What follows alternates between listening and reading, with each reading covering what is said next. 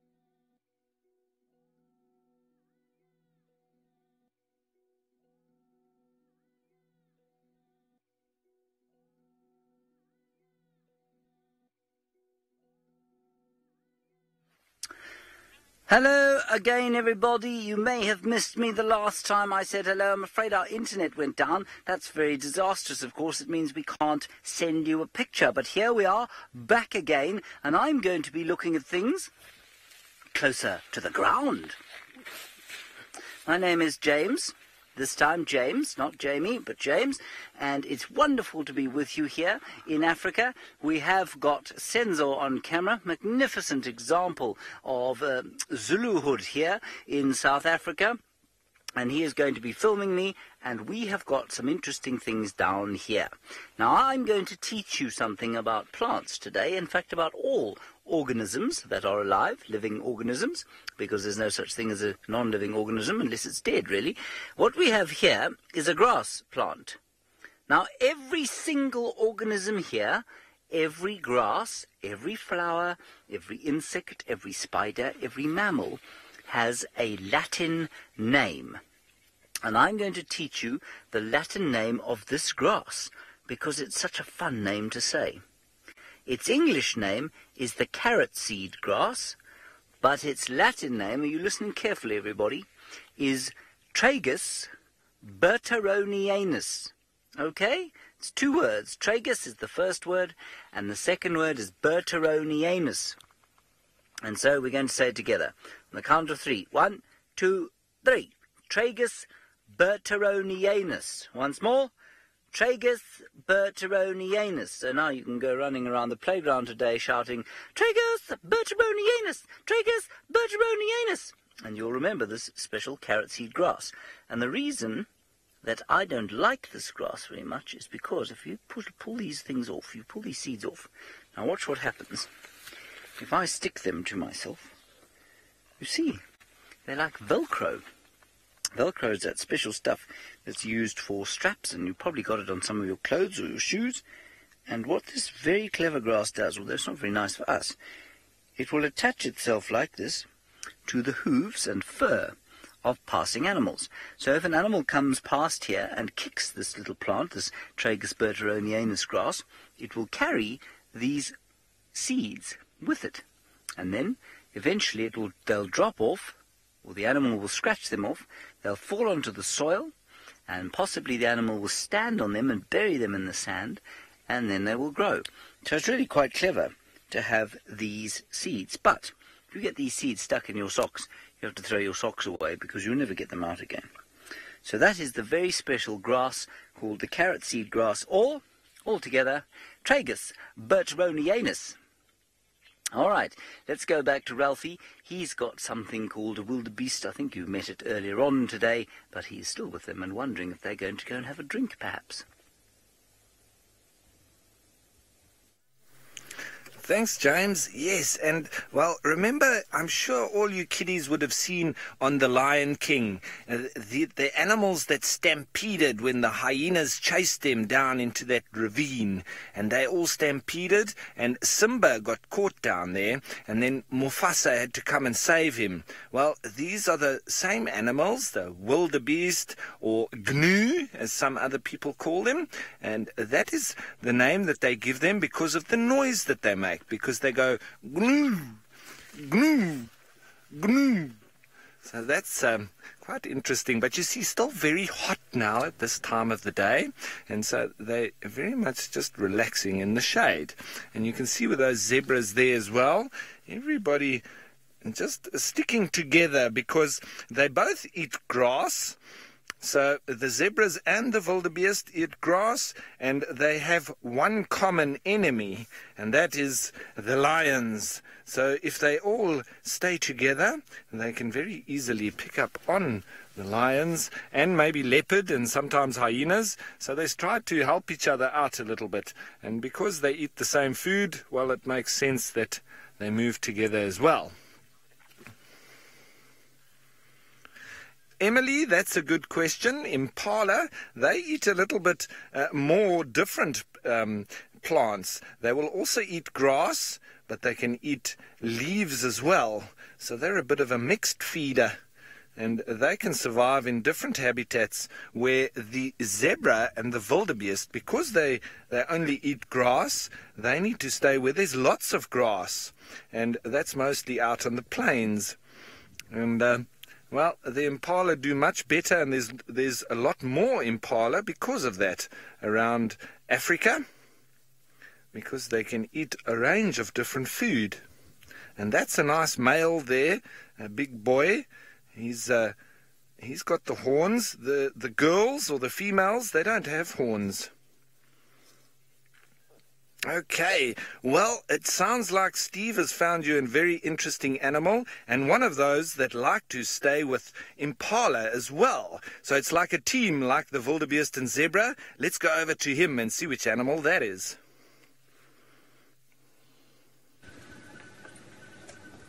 Good afternoon, boys and girls. We're just trying to sneak up here on a troop of baboons. There they are in the road up ahead name is Steve Falconbridge. Welcome. I'm joined by Seb on the camera. And the baboons are not very relaxed. They're moving away from us. They are our cousins, distant relatives, and they are very well native to the African savannah.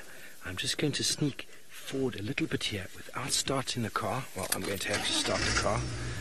There's a couple of youngsters just playing just on the right over here in the bush. If you can see them, Seb. James was talking about scientific names. These guys have got the scientific name Papio capensis, and the papio relates to their dog like face. They have got enormous canine teeth. I'm sure your teacher is going to send us through questions, but don't be shy. Send us through your questions. These baboons have got enormous teeth, much bigger even than that of a lion. And they are omnivores like ourselves, feeding on fruit. Here we go, Seb. Here's a nice one here, feeding on the guarries. It's busy feeding on a little fruit tree there. Got very nice ripe berries at the moment. They taste very good. Look how well he's able to climb, or she. That's a youngster. They live in troops of up to 40, 50 animals. And they've got enormous canines, like I said, especially in the big males. And the big males lead the troop, a group of them, like a gang, four or five, maybe six males. Here's a nice, cute one giving us a, a frontal seb on the left there. There we go. Don't you see your brother or cousin in there? I do. I most certainly do. Itchy face. How well they balance on that branch, though. Beautiful that we're able to spend time with the baboons. Tallulah, you want to know if I went to college to become a safari guide? I did, but a lot of people don't. You don't need to do a degree. Uh, some people can do just some short courses to get out here. Uh, but some people, like Ralph and myself, have gone through nature conservation courses, uh, but that doesn't necessarily get you to this exact level. There's diff- many, many different types of routes. I mean, James didn't do he didn't do a nature conservation degree. He did music or something like that. So, if you get an interest in the bush and you come out here and you want to do it, there's very there's many, many ways of doing it without having to go to university. lots of courses or or places that offer short courses, a month or two, three months in the bush. You learn all the practical stuff. But the one thing I must tell you is that it never stops. You never stop learning. Every day you're learning something new, and that is the mindset. Come out here with a great amount of enthusiasm and willingness to learn, and every single day be prepared to add new knowledge to all of the stuff that you've been adding to your brain. Well, it looks like James Hendry is still on foot. Let's go up to him for an update. Well, I'm certainly not flying, everybody. I'm still walking, yes. And we've got here a very special little rodent. And this special little rodent, is, of course, is called a squirrel. But what's really interesting about this small little rodent is that it's a baby. The adults are about twice that size, and that little one there is probably only about four inches long, excluding the tail, and the adults, I guess, would be about eight inches long, including the tail, and I'm sure they've got a little home inside a hole here in this dead tree. And I wonder if there isn't perhaps another one inside, maybe another baby, or if the parents aren't somewhere around here. Maybe they're gathering nuts, which of course these tree squirrels do, just like the tree squirrels or the squirrels you've read about in storybooks.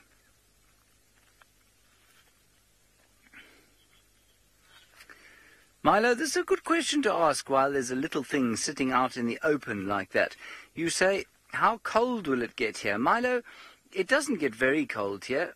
The very coldest temperature I've ever experienced here was 4 degrees Celsius, which is round about, ooh, it's probably about 37 or 40 degrees Fahrenheit or so. Uh, but it doesn't normally drop that cold.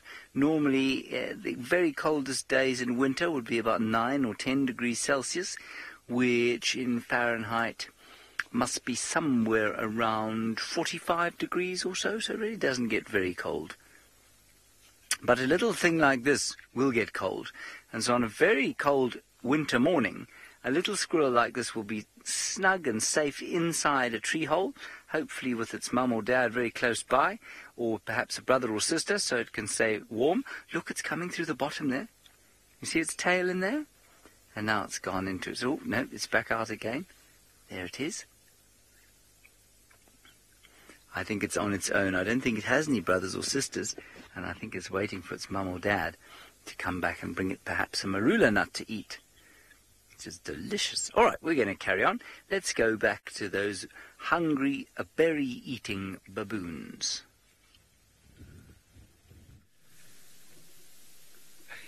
We're trying to get another look at them, but they've decided to go into the very thick bush. We could hear them making all sorts of funny noises off to our right hand side. Baboons are very much like people uh, with their kids, they also need some discipline. You can see them walking there. Luke, you want to know what the baboon's um, predators are? And lion and leopard are definitely two of the main predators of baboon. But uh, that is one of the reasons why they hang out in a group with big males to defend them, because they will confront a lion and a leopard if need be to defend their offspring and their youngsters. But some of the biggest threats that that come towards baboons are other baboons. So a gang of males might come in and try to take over this gang, and then that leads to a takeover, and that can be quite sort of damaging to the troop in the initial stages. But the strongest will always do what they need to do going to see if we can maybe try to find another spot here. If you're not playing the game, you have one? There we go. He's enjoying the sunshine. Keegan, they have long tails. You know why they have long tails? Um, mainly for balance. The tails, Tegan, maybe the the, the the the tail, just like in monkeys, is mainly for balance in the tree. And if you ever watch a female walking with her baby, it walks it's beautiful because the baby sits on her back like a Harley Davidson, leaning on that tail, almost like a big Harley Davidson bike rider. But I think the tail's primarily for balance. Um, we lost the tail a long time ago because we started walking upright and we don't climb trees that well. And uh, I think if we had one, it would make our balancing in the trees much, all that much better. You can see that very dog-like face, can't you? Emmy, they hold on to trees with their opposable thumbs. You see, there we go. Look at his hands. His hands are very much like our hands, but then his feet are quite similar to the hands as well. So our feet have changed because we walk so upright all the time, but their their feet are very, very good at holding on to things. And there you can see how he's sitting like a typical boy in the sunshine, legs wide open, hands on his hips or on his legs. And they've got very, very strong hands. Baboons are incredibly strong. A small baboon would very easily overpower a human. Kennedy, you want to know if the, the baboon's parents teach them how to climb. And they are born very, very small and they attach to mum's tummy, just this little black mass attaches there and holds onto the stomach, and uh, mum teaches it most of the stuff. Uh, while she's sitting around with them, they get to play and run and jump with all the others while things are safe and while they're going through huge stages of grooming and spending time with each other. And Then the babies run and jump and play, but it's all learned behavior. They have to spend a lot of time learning and they're following the troop all the time. And that's also when we heard some noises earlier. It's a discipline. When youngsters misbehave, the adults step in and give them a hiding from time to time. It can hear, can sound quite, quite bad, but uh, discipline often sounds like that. James, you want to know if baboons live elsewhere? Um, all over Africa, really. Um, all the savannas of South Africa, we get baboons. Uh, we get the Cape, so down in Cape Town area. Um, they've got a huge range. They just don't do well in very, very dry places. So in the savannah, um, and they have sort of evolved to be more of an open plain specialist, but they need to have rivers with tall trees where they rest at night, where they sleep and spend the night. So it seems like we're losing signal here. Let's go back up to Ralph and see what he's up to.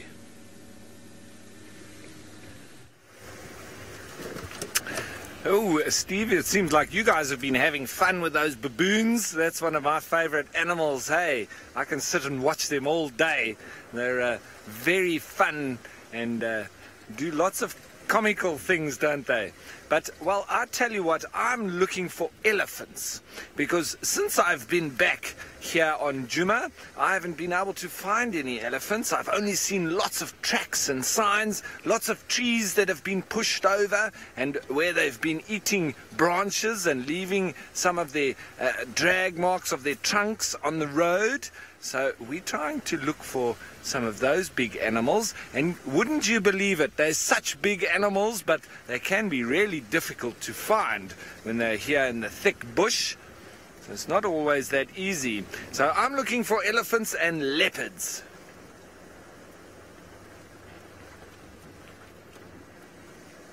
Zoe, well, we haven't really been attacked in our Jeep when we've been filming. We have had some uh, animals coming very close and getting very inquisitive and curious of us. And uh, well, we've been trained uh, for many years as rangers, and we know the different signs that the animals give us that uh, when they're angry with us or we, we get too close, maybe they've got some babies or they've got some food or they're not in a very good mood, then uh, we don't stay very long or we don't get very close.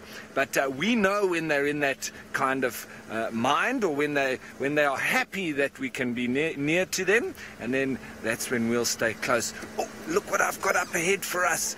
I think it's a couple of pumbas, but they look like they might have just had a wallow. Uh, they are running. I'm not sure if we're going to be able to see them for too long. So we'll just have to wait and see. But there they are running through the bush. I might just pull off over here so that we can get a, a look at them as they oh there they go. Shame they are scared of of everything because everything wants to eat them. So let's just see if we can get a little bit closer. There's also a little antelope running through the bushes. There they are. Let's have a look. Looks like mommy, daddy, and a little piglet. See, they're also going into the shade. It's also quite hot. But the the warthogs, they like to go and wallow in the mud when it's very hot. And that's how they keep cool. I wonder where their little pool is that they can go and find. They're very nice because after they've been wallowing in the mud, then they like to go and scratch themselves on a tree or on a rock and get all the mud off, and it pulls all the little parasites and the ticks and fleas and gets rid of them because they don't um, have a vet or a doctor that will take them and clean them and wash them. They need to look after themselves. And they now have disappeared behind the bush. Let me move a little bit forward and see if we can just see them there a little bit better. They seem to have relaxed a little bit. There, they, they're not too worried about us. That's nice. Now we can see them. Look at the lot of whiskers they got on the face, eh? Mommy and Daddy have both got whiskers. It's quite funny, hey? Hee hee. And when they run, you'll see that tail go straight up. There you go. See that? Look how the tail goes up. That's so that they can follow each other in the long grass. Because that little one there, he won't be able to see Mom. Look how he disappears in the grass.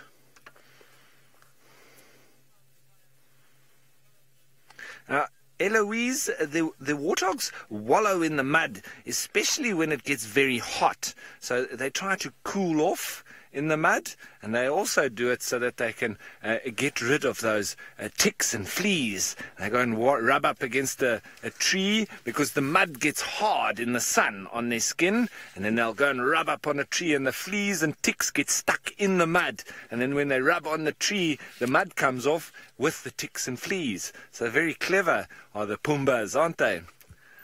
Well, they've disappeared now, so I think we will do the same and continue up down the road. Speaking of long grass, it seems like James is in some, uh, and let's go over and see what kind it is. He is in some long grass, and I mean a special kind of grass called Eragrostis, which means love grass. Isn't that amazing? It's called love grass. I'm not sure why. I think it's because the seed is shaped like a heart. Now, what we have here, you've got him. He's a little grasshopper. And there are lots of grasshoppers around here. Just as the season, the summer season, comes to an end, so the grasshoppers are all mature now. They're all adults, and they're laying eggs in the ground, and then eventually they're all going to die, I'm afraid, and then their babies will come next season. Because, of course, we're going into winter time as you go into summertime. And you see that one there. So that's one of them, and there are others that aren't quite so colourful, just hopping around in here. And if I'm very quiet, I'm going to put my head into the grass here, and then I'm going to be quiet for 10 seconds.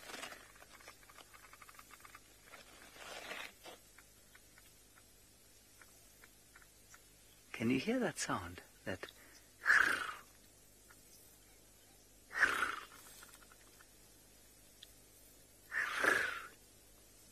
You hear that?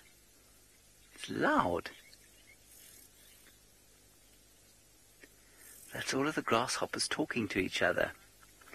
It's their legs rubbing against their abdomen, so a little bit like a cricket makes a sound.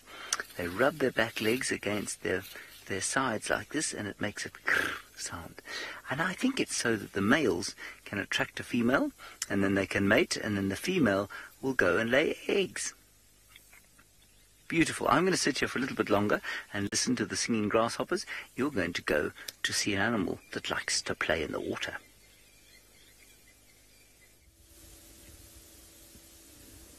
Yes, we have indeed. It doesn't just play in the water, they live in the water, spending most of their time. Wow, look at that. Fish eagle just came down. Sorry, sorry to change the subject. This fish eagle, which looks very much like your American bald eagle, came flying down to the water's edge. I don't know what it quite, what quite it saw there, but the African fish eagle, beautiful, beautiful bird. They live in pairs for life, and they feed on fish as the name implies. And although the hippo that we saw moments ago, you would think. Sarah Jane, there we go. There's one of the birds that we see. Excuse me, I have apologies for my sneeze there. So the fish eagle feeds primarily on fish, but will also feed on all sorts of other small things it can get its talons on. Very, very successful hunter and uh, you always see them in, well, near water holes like this one. We are at Chitwa Chitwa, another property just next door, another game reserve right next door to Djuma. It's always a great place to come. There's the lodge at the back there. Great place to come for all sorts of animals. There's always hippos here. Ariona hippos, you want to know if they are dangerous. And yes, hippos can be incredibly dangerous. Um, they actually are responsible for killing more people in Africa than any other mammal. Now, we need to understand that, first of all, to really truly understand why. Hippos don't eat meat, they feed on grass and they live in the water. They feel very comfortable in the water. And when they get out the water to go feed on the grass, they feel very vulnerable. And uh, what happens in rural Africa, we have lots of people who still walk down to these big dams or waterholes or rivers to get water for drinking and for cleaning and for washing and all sorts of things. And then you run into something like that that's trying to get back to the water, and they quite often will run you over. When you weigh four and a half thousand pounds and you run over someone, it's going to hurt a lot. And uh, quite often, the wounds inflicted by such damage is what leads to the death of these people out here. They're not looking to seek to kill people. And then there's also lots and lots of people fishing. But let's quickly go to Ralph. He has a bird. Yes, everyone, and look at this. This is one of our little um, birds of prey that we get here in in this part of the world, and this one is quite special in that he's so small, but uh, he's also very ferocious. He can hunt little birds and catch reptiles like snakes, small snakes, because he is very small. And he'll also eat anything else, but he mostly eats and catches little birds. And he's called a little banded goshawk, or shikra. Very pretty little bird that, and he's just jumping up a little bit further. Now he's nicely in the light there. Wow, look at that. See that very orange eye? And he'll be he'll be looking for some food. See how he bobs his head up and down? And that's because he can see very far, but he, he can't tell the distance very well. He can't tell how far it is. So he just puts his bumps his head up and down a little bit, and then that's the way that he tells how far the prey is away. And I think he might have flown off. Oh, there is a lilac-breasted roller. That's a different bird altogether. This one eats little insects uh, like grasshoppers and locusts and anything else that flies around. So he eats mainly insects. Where that shikra, who was only a little bit bigger than him, uh, he's got very big talons, though. Uh, he goes for little birds. But this uh, lilac-breasted roller is after little insects. Very pretty colours, hey? So, now that we've spotted a couple of little birds, uh, I think Steve, where he is at Chitwa Dam, he'll have a lot of birds to show you. So let's head on over to him. We do. There are lots of birds here, and there's also an aeroplane flying over our heads. I don't know if you could hear that, but it just buzzed us. Called a red-billed oxpecker. Oopsie, he doesn't like getting his feet wet. There's a juvenile, and he is feeding on ticks. Griffin, what do hippos eat, you'd like to say? You'd like to ask? I think I answered it a few moments ago. They feed on grass. With their very, very big mouth, they move through the savannah and they just munch, munch, munch. They're not very selective. They'll be eating all of those grasses that James is showing you. Uh, they don't have a very small mouth, so they just eat absolutely everything that comes in their way, but they're looking for grass, only for grass. Hmm, Joseph, I don't know how many teeth hippos have. You want to know how many teeth they have? Well, they've got the two really big, sharp uh, canines or incisors in the, the top of the mouth, and then two in the bottom. And then at the back, they've got a whole set of molars at the back there. But I can't remember how many they have. There must be about 10 sets or so, but I'm only guessing right now. But it's not a lot of teeth for the size of their mouth.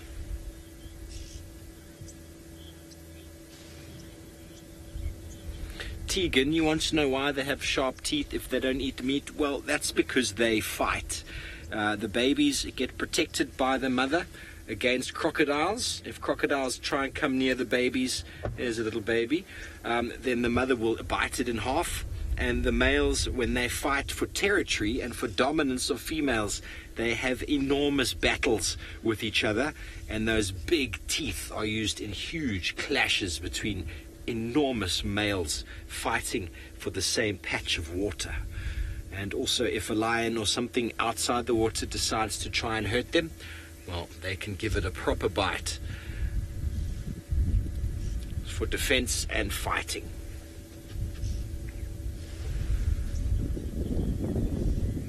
Well, it seems like James is showing you wonderful little things on the ground. Let's go back over to him. Well, it's not quite on the ground, it's on another wonderful piece of grass. And it is a very special little butterfly. And you know, there's so many butterfly species, I'm not sure which butterfly that is actually. It's very small, only about, oh, I'd say a quarter of an inch long, and black and white. So it might be something called, uh, it might be one of the whites. We get butterflies like that that are called whites, lots of different kinds. So I think that's probably what it is there. But often, you know, when butterflies open their wings, they're a different colour on the other side. So it might even be one of the blues. Oh, it's flown away. I'm watching, I'm watching, I'm watching, I'm watching, I'm watching, I'm watching.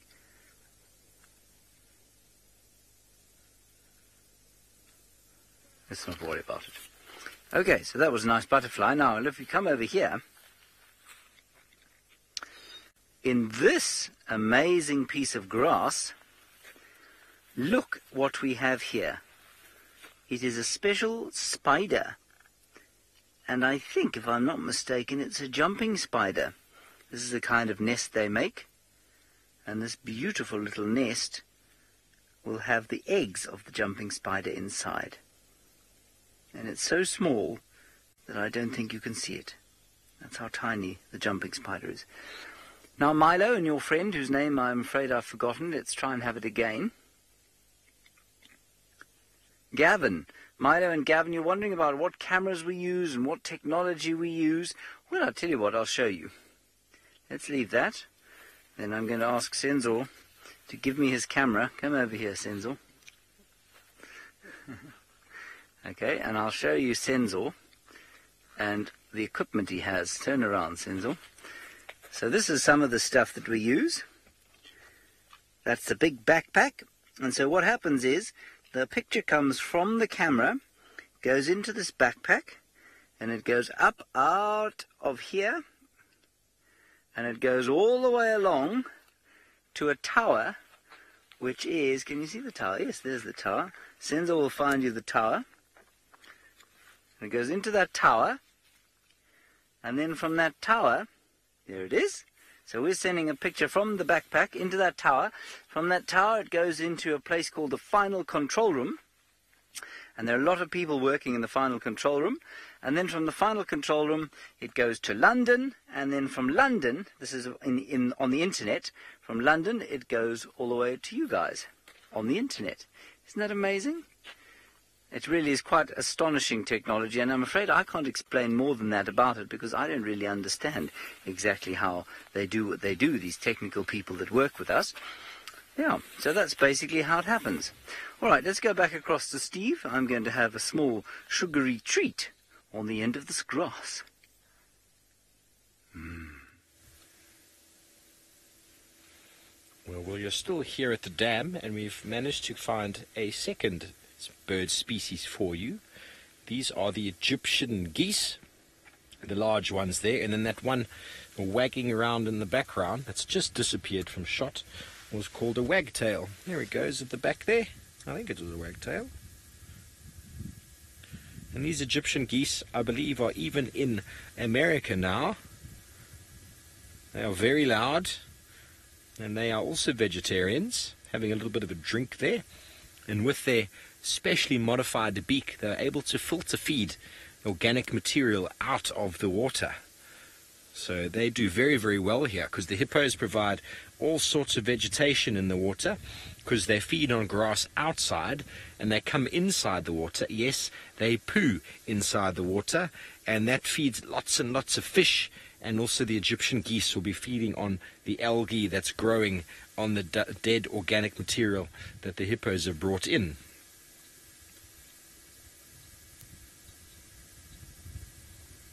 Very pretty though.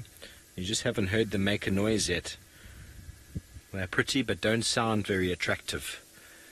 You can't have both in the bird kingdom. You can't be pretty and sound good.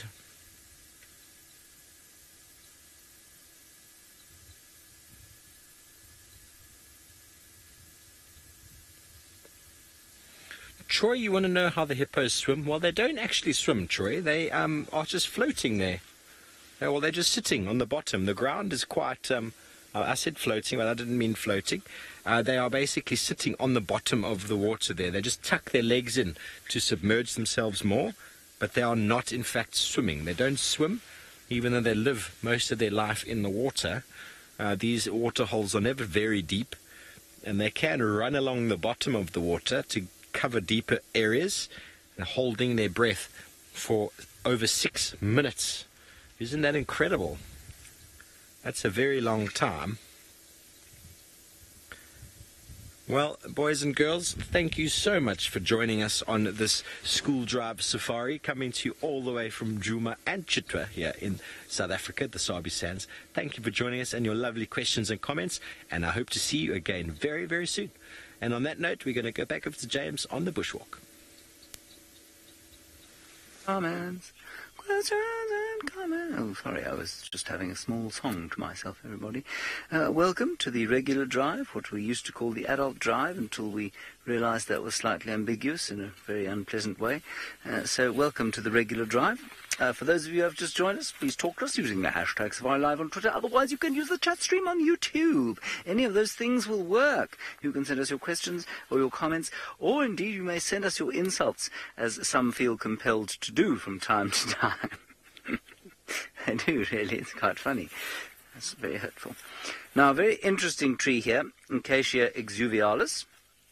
And you can see that the thorns have been used as homes by many creatures, and I suspect mostly by the slender ant. The slender ant, which doesn't live in vast colonies like many other ant species, likes to live in these thorns. I wonder if we won't find the husk of a slender ant here. I don't think there are any living ones. It's, mm, no, not quite. You can see the hole in here, though. Mm.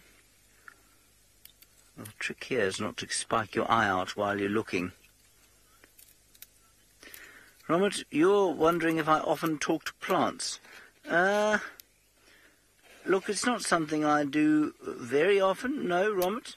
Um, I have been known to sing every so often in the vicinity of plants, though, and that definitely does cause a die-off like the one you see at the moment occurring on this plant. So this could have been because I came past here and sang a while back. I'm just trying to see if we can't find the husk of a slender ant, but I can't find one now. I think they've all gone. But interestingly, uh, this is not the natural state for the thorn. So there you can see a hole in the thorn, and the ant dug in, uh, exuded some sort of uh, poison or toxin, caused a swelling in the thorn, uh, which created a sort of spongy material inside that became food for the ant and its larvae, and uh, possibly even the adult. And you can see that this tree was not festooned, that's the wrong word, it's a beautiful word, but it's the wrong one, was infested with them. It's also been attacked by any number of other creatures. I think elephants have had a go at it. I wonder if buffalo haven't rubbed themselves up against it, but still it survives. It's a very brave and stoic fellow here in the African wilderness. Good. Right, let's continue. Right, I believe that Ralph is uh, doing what is known as just driving along. I don't think he's just driving along. I bet that he's looking for something. Yes, well, everyone, um, we are still on the lookout for leopard and elephant and hyena. I thought I'd just pop in here quickly at the um, the old elephant carcass and just have a look and see if there were any of the hyenas still around. But uh, I do think that the other day when we saw them all around here, it was um, just after that quite a good downpour of rain, and I think it started to release the smell again of these bones. I think that's what brought them all back here. it was nice to see a lot of hyena all together again. But, well, for the moment it looks like there's not too much happening here now. But that skull has been moved. I wonder if it's down to some of the um, the elephants coming past.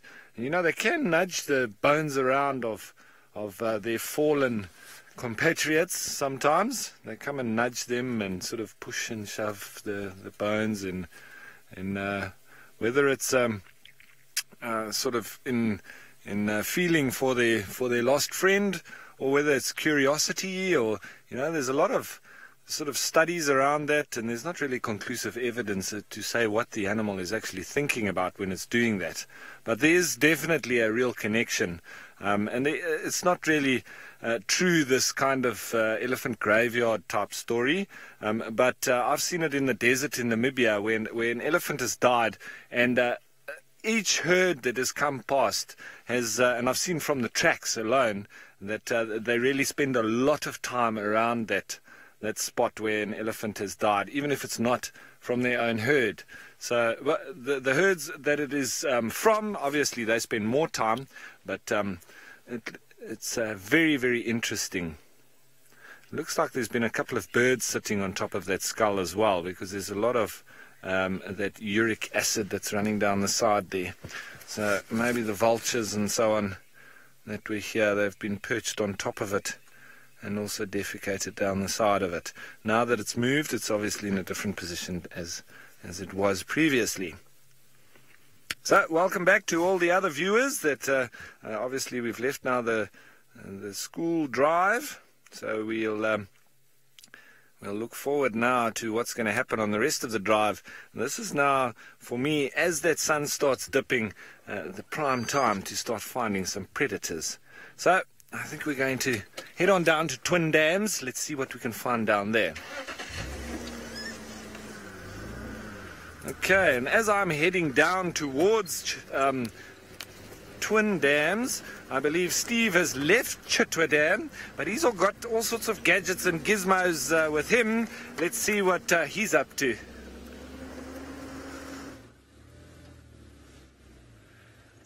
We're trying to um, not get stuck in the sand, first of all. We have left the dam, and there was a, a little bird party of southern black tits having a fight. Not southern. Um, what were they called? There they are. Southern black flycatchers up at the top of that tree at the back.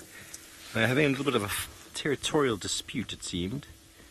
They're very easily confused with the fork-tailed drongo, but have a look at how how shallow that tail is, not very, not very thick.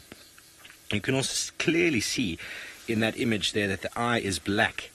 Where fork-tailed drongo has got a red eye. So a lot of people overlook these southern black flycatchers and they think, ooh, that is a fork-tailed drongo, and it is not.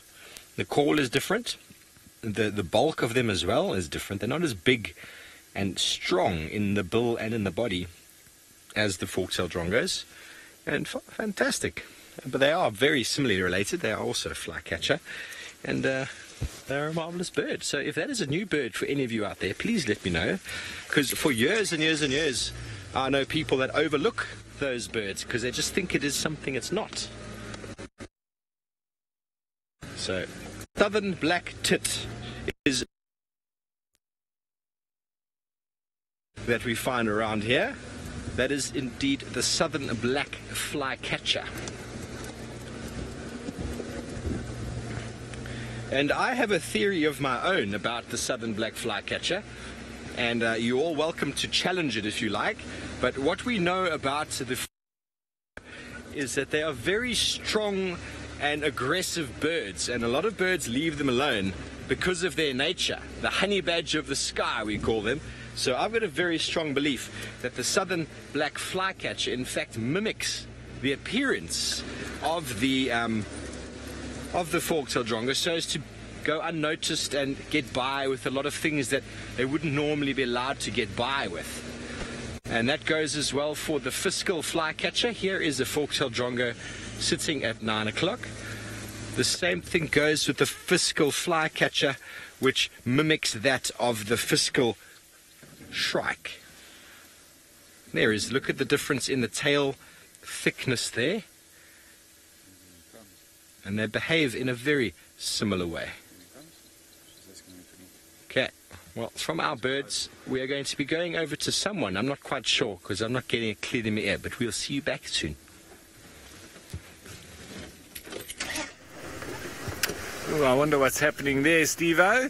You've obviously gathered the gremlins. But uh, nonetheless, we're still out and about. We're here next to Twin Dams. It doesn't seem like there's uh, too much happening here. A couple of Egyptian geese down there and the ever-present um, blacksmith lapwings. Uh, they don't, they're resident, they won't be going anywhere. Um, and I do want to go in the Mlowathi, but I'm a little bit worried now that Steve has not got the best of signal, so I don't want to be and getting into the same area as well. Well, same problem as well. So we'll maybe just stay a little bit in a good signal area. Okay, I've received the go ahead that we can go and just test our luck down in the Umlawati. So I think that's what we're going to do. And while we try and see if we can find some elephant or leopard, let's go on over to James and see what he's been able to find.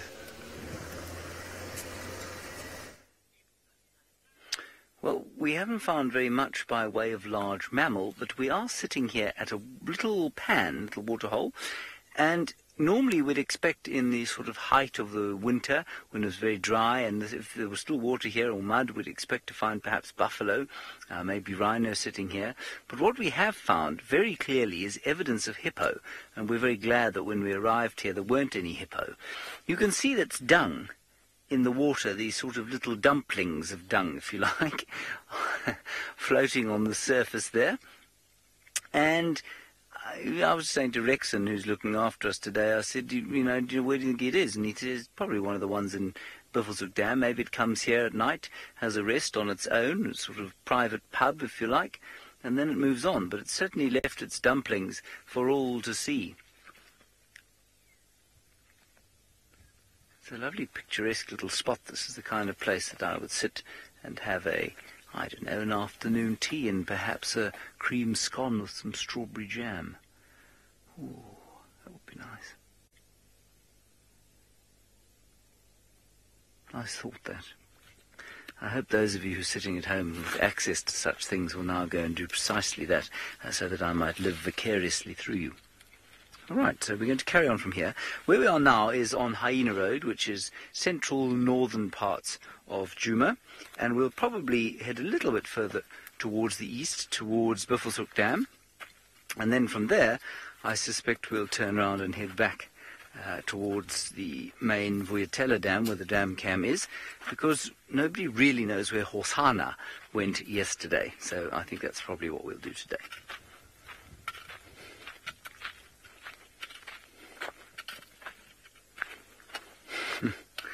Rhonda, there'd be a lo- lot of dead bushes around if that was the case. You say if the animals, when the animals scent mark on bushes, does it kill them? Not at all. Uh, in fact, well, I don't know if it fertilizes. I'm sure it does fertilize the base of the plant.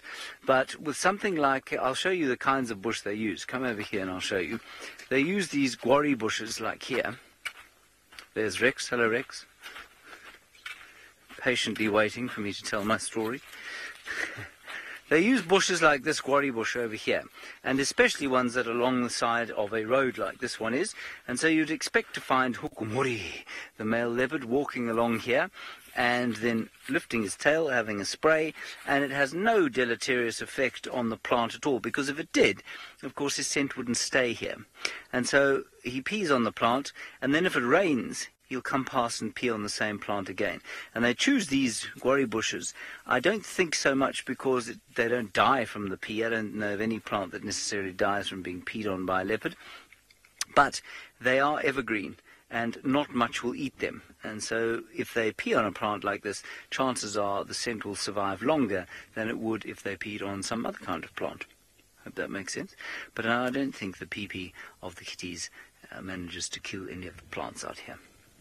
I can tell you, however, that I, when I was I moved into a house in Johannesburg uh, when I was a, a guitar teacher, and I was renting it. And in order to save costs, I said to I said to the owner, who said, used to send a gardener around once a week to do the gardens, I said, look, look, I'll do the gardens. You just let leave them be, and then you know it saves me the cost of having them. So he said, right, that's fine. So I thought my mother's quite green-fingered, you see. So I thought what I'll do is I'll just get some advice from her, and I'll dig up this patch, this flower bed here, and then I'll plant some seeds in it, and some alarming Franklins. We'll go and see what they were doing.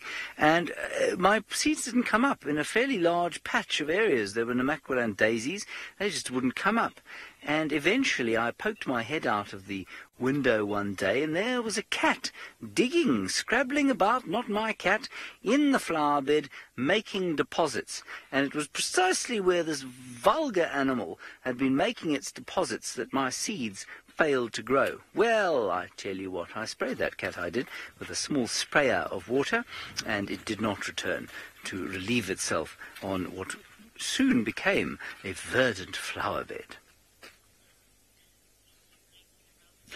Let's go across to Ralph, who's got the other mm, Cercopithecine primate that we have here. Yes, and this primate is the one that likes to be a little bit more in the trees. Because remember, baboons, they like it to be on the ground a little bit more. They are quite good in the trees, but they're not as agile as the uh, vervet monkeys that we're looking at here. We don't have a clear visual on them, but these are a couple of youngsters, and they're really playing and jumping around and showing their acrobatics. I think they're having a, a wonderful time there. We just thought we'd stop because they were putting on a real show for us, jumping and leaping and really grabbing almost like trapeze artists. And you just see their tails there. They'll use that also to help them grab onto the branches. But it's it's, it's amazing how sometimes they t- take a real leap of faith. They jump and land in the in the thick leaves. The very, there we go. There's one. It's, it's real youngsters that are playing around. I wonder where the rest of the troop is. See, these are russet bush willows in front. I'm not quite sure what that is at the back. Oh, it looks like guarri. I think it's magic guarri. So there's no thorns or anything like that. That's why they can quite easily jump and not hurt themselves. And they, even at a young age, they they know which trees. Look at those two having a wrestling match. They know which trees they can jump and play around on like that. I'm sure they're also eating the berries like the baboons were doing. Gary, thanks for your comment that you like monkeys. I also like them. They, they're so interesting. You can sit and watch them all day. Uh, it's pretty much like the baboons as well. They're very human-like in a lot of ways. They are primates, so we we are sort of close cousins We do come from the similar lineage. But there's lots of fun going on here. These guys playing around. Now, Peter G., that's a very good question. Um, the name vervet, or the origin of the name vervet, um, is actually eluding me. I'm not quite sure. In Afrikaans, they call it a blouaap which is basically just a blue monkey, which um, is a lot more descriptive, but I'd have to look that vervet. You know, I don't know if it's something closer to do velvet, you know, with their velvet looking type coat that they have. Um, but I'm not quite sure. Very good question. We've always just called them vervet monkeys. And uh, it's really the only true monkey that we get in southern Africa. We don't get any others. We get different baboons. But uh, the vervet monkey used to be extremely common, especially along the coastal areas, uh, along all the forested and treed areas. But um, obviously, with a lot of human encroachment, um, and especially people bringing dogs, um, they have suffered quite a bit. And also because of their habits of being quite destructive. There's one now that's showing himself quite nicely. There he is. Looks like a, a little bit of an older one. It looks like those teats are quite extended. That might be a mommy looking after these youngsters playing in the tree. doing a bit of babysitting. That's it. Come and show yourself.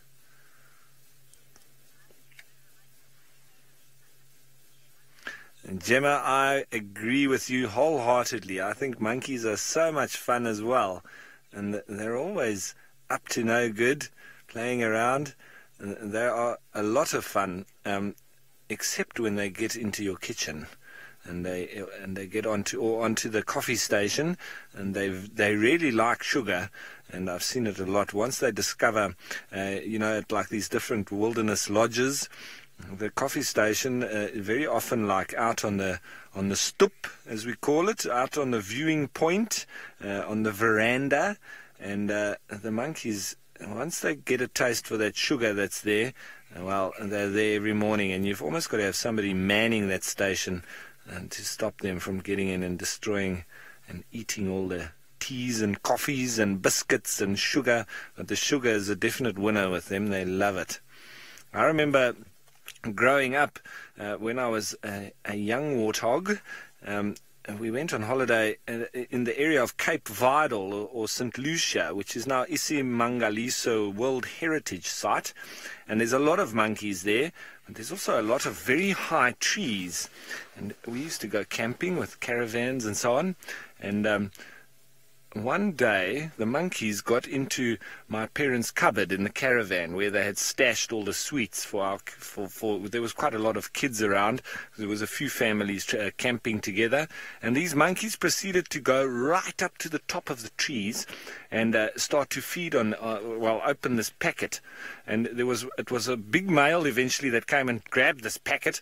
And now he commandeered it from all of the rest. But he sat there in the top. Oh there's a little baby there coming to mum and he sat there, and as he was breaking open the packet, um, there were sweets falling down. So uh, all the kids, we were running around on the bottom, uh, collecting these sweets as the monkey was dropping them down. So it was actually the roles were completely reversed, where um, we were the little monkeys, and uh, he was the little human feeding us up top in the trees. And I'll always remember that. Very cute. But we also used to then, um, just to deter them, we used to just put in a plastic snake inside the caravan. And so then they would see that right by the window. So they would climb in the window, they would see the snake, and that would really scare them, and they would run out. And it was uh, quite a natural way of trying to deter them. But uh, there were some old wily males that also would uh, climb in and bite the snake and, and literally rip it to pieces. So we'd often come back and we'd have to get ourselves another plastic snake. And that little baby looks like it's having a drink.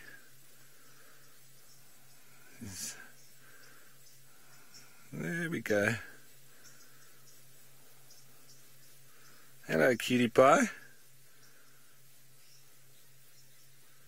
Yeah definitely is a little bit of a nursery going on here. All the little youngsters playing around and the adults just watching, making sure they don't get into trouble.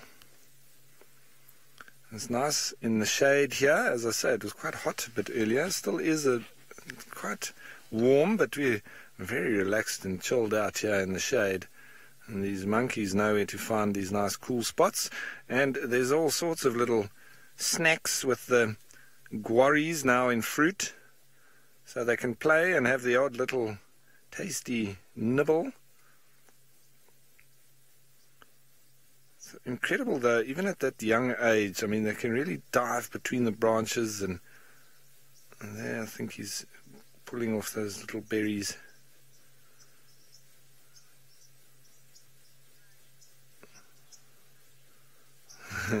he's very cute, isn't he? Thanks, everybody commenting about the cuteness.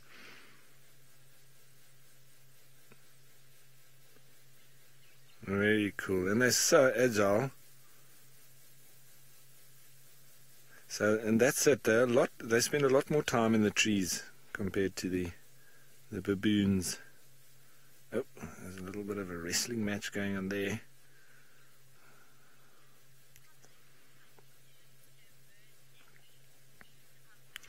Mr. Public, um, they uh, monkeys can disturb birds' nest um, uh, without, um, you know, unwittingly, especially when they're playing around like they are now.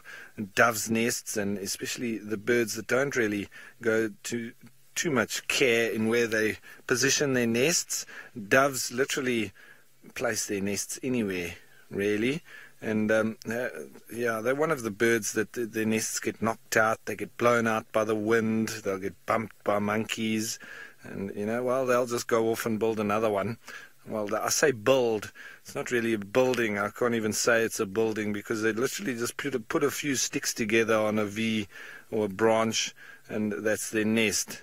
And uh, yeah, it's a little bit of a haphazard. So doves are a little bit vulnerable in that sense, but not too much. Right. I think uh, that question that came through, why they're called vervets, I think nobody better to ask that question than James. Let's hear what his answer is. Le songe, il est vervet. Le songe, il est vervet.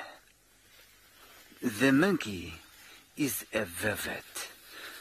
I am told by my reliable memory app that the name Vervet is in fact a mispronunciation of the word Vervet, spelled in the same way. It is a colloquial French word for that kind of a monkey. A songe, of course, le songe, in my recollection of the French language, is in fact a generalized term for a monkey. Le songe, il est vevin. C'est bon. Did you like my um, beret that I had on there, Senzo?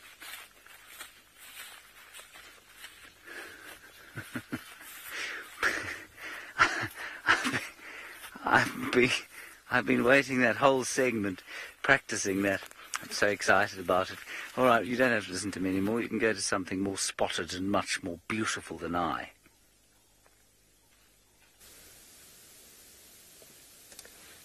The Duke of Djuma. We were about to set up the drone. Well, the drone is ready to go. And um, look who materialized.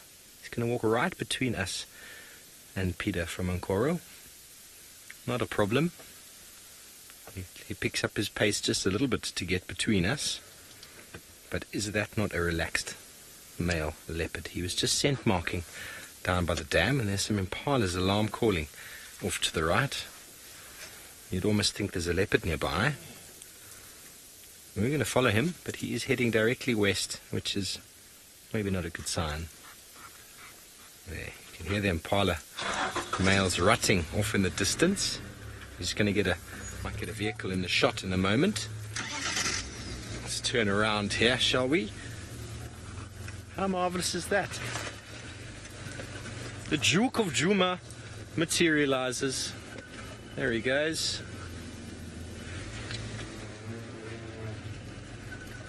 Yay! Wow, everyone. Here he is.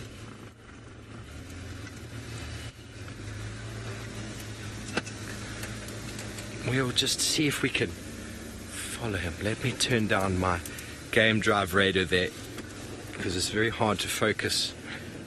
Obviously, when a leopard gets found, everyone gets very excited and they all want to come at the same time. But we were the closest, and we're going to get him in a beautiful dapple afternoon light. I'm going to just stop there for a moment. Tammy, yes, I'm also glad he's scent marking, but I mean, he's right here by Chitwa, so maybe he's just making a very, well, a much smaller sort of territory. Um, not sort of pushing his way back into where he was, but who knows? He's up, he's about, he's definitely staking claim to this territory anyway. And there is lots of impala and water in the area, so a marvelous place to be. I'm going to go around on the road. Sorry, Seb.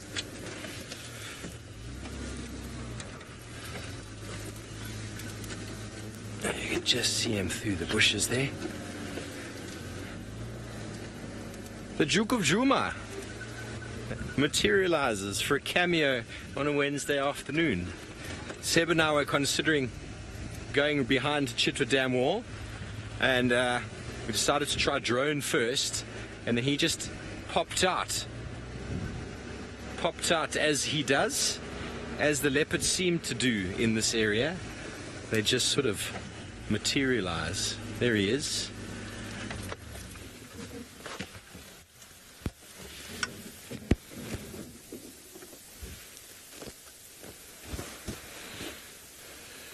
He's looking into the open. The, the impala rams are doing their territorial rutting. You just heard a little go-away bird there.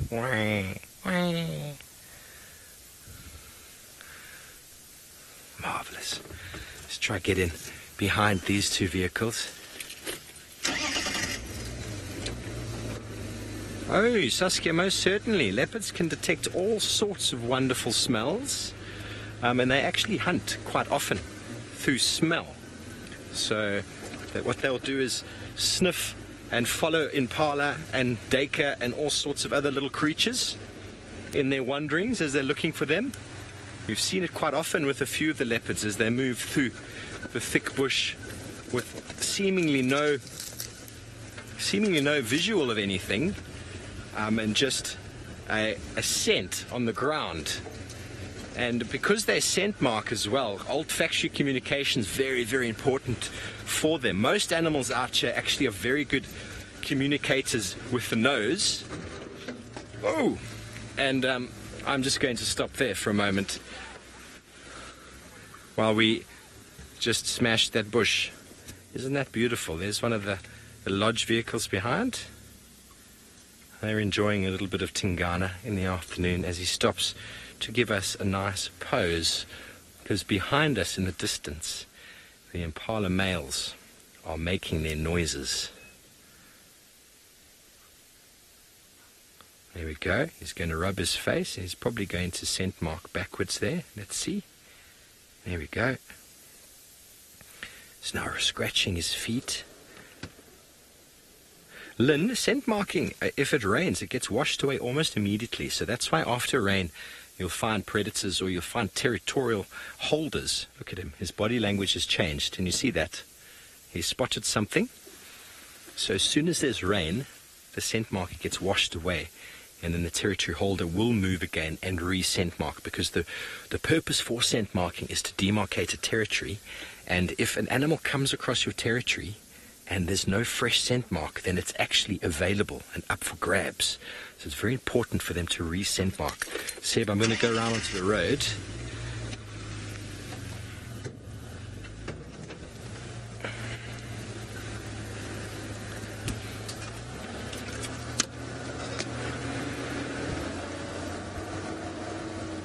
So that's why you'll often find after a rainy event, your predators or your rhino, territorial holders, rhino, wildebeest, as well as leopard and lion, will go back around and remark all of those areas.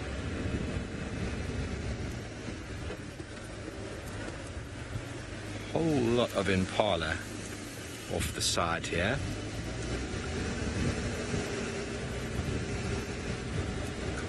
He's moving through the long grass over there. Try and we're getting to our western boundary with Chitwa and um, Little Gowrie. Just going to stop right there for you. If he keeps going on this trajectory, that's about as far as we're going to be able to go with him.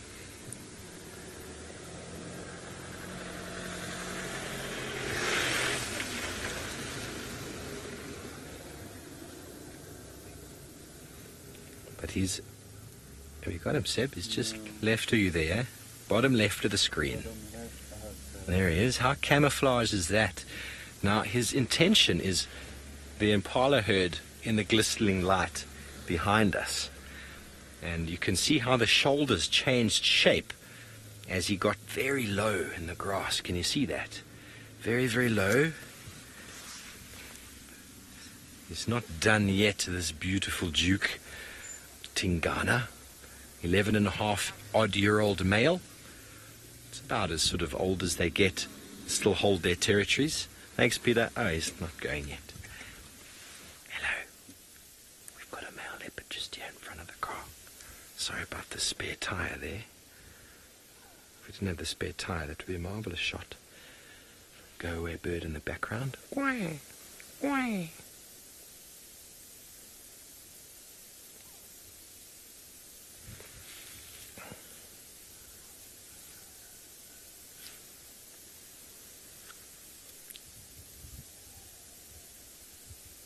And if you go, you didn't see him there, but he just licked his lips.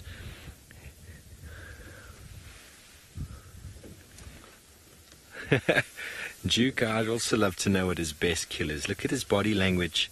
He's definitely interested in those impala there. Look how he's sleeking away there. Very low. He's using the vehicles as cover, cheeky boy. And we're going to stay with him. We marvellous afternoon to get a leopard hunt. Sorry about my head. Oh, as I said, two other vehicles in the sighting. If he keeps going this way, we can't follow, but it's a good chance he's going to loop around towards these impala here. But the way he's headed, it's not looking very promising, unless he is doing the sneaky, sneaky leopard tactic of moving around his quarry.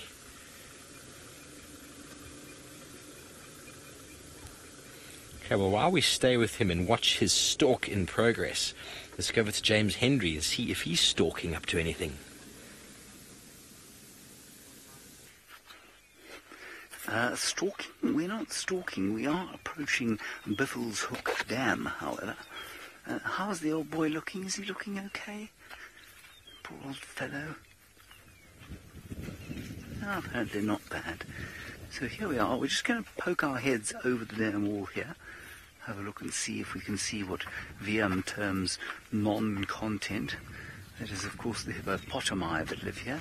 And then we'll find what can be described, I suppose, as secondary characters of ours, the family of Egyptian gooses, and their one, two, three, four, oh dear. No? Still seven? One, two, three, four, five. Yes, still seven little goslings. Well done. It's a relief. There are the hippo, popping their heads out. The world's most boring hippopotami.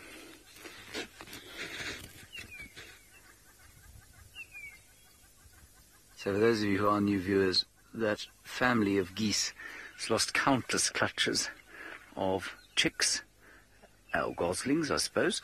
Uh, but this little clutch seems to have made it well so far. Uh, they're probably about, oh, I'd say about a month old now. Maybe, maybe not quite that much. And they've still got seven of eight left. Now I think you'll find that the hippopotamus here are not quite as entertaining as the ones in Chitwa Dam because there are no youngsters. These are all adults. As we all know, adults are inescapably more boring than children.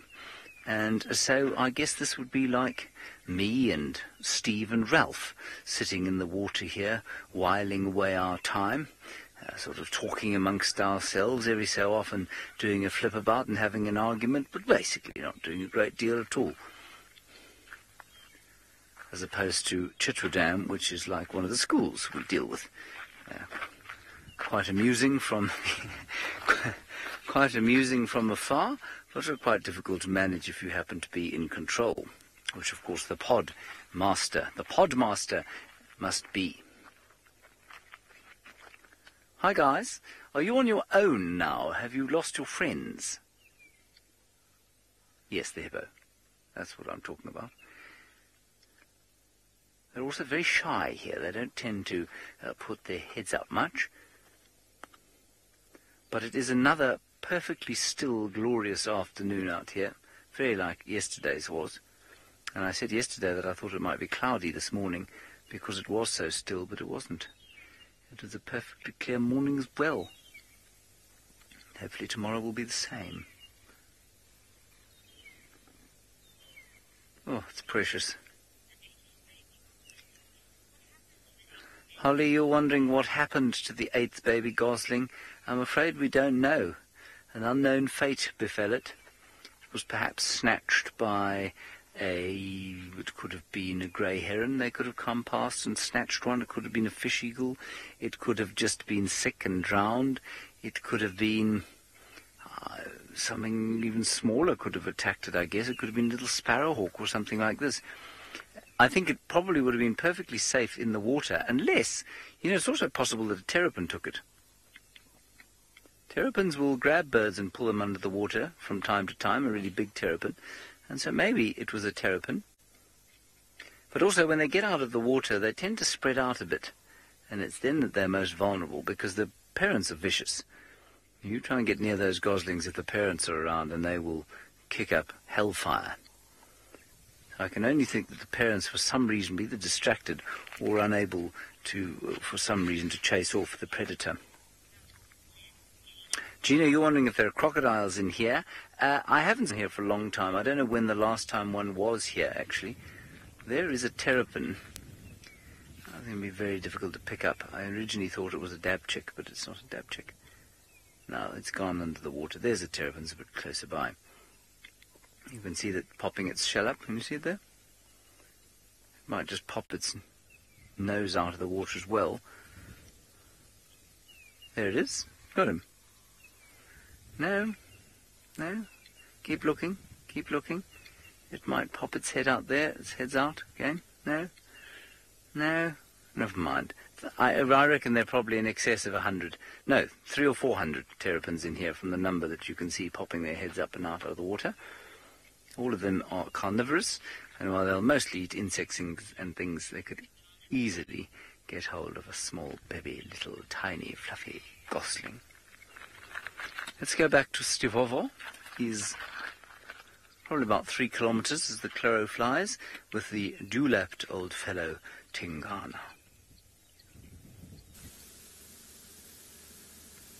Indeed, and talking about old fellows, I would love to know what James was talking about there about old fellows and comparing some of us to the hippos at Buffelshoek Dam. I wonder. here we do. Boring to watch. Okay. Is James saying that we're boring to watch? Kids definitely are more fun to watch. So he's just walking in front of us here. He's walking directly towards um, to the main road, Gowrie Main. So potentially going back to Djuma, or or maybe in. Um, no, he's definitely interested in some Impala. Definitely interested in Impala here.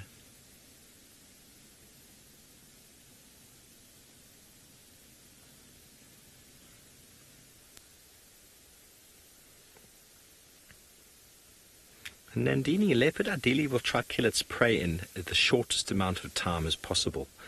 Um, a, a skillful cat will suffocate its prey around the throat or around the nose immediately. Um, but sometimes it doesn't manage to get it right there, like on a warthog, and it leads the animal screaming. And what a distress call does is it attracts other predators. So it's in the best interest for a leopard to kill very quickly and very silently. Doesn't always work but it's ideal for them to do so. So from seconds to 30 seconds, as quick as possible. But I've seen leopards try to kill a warthog that took a very, very long time. Very long time, because it was afraid to go near the face and the throat.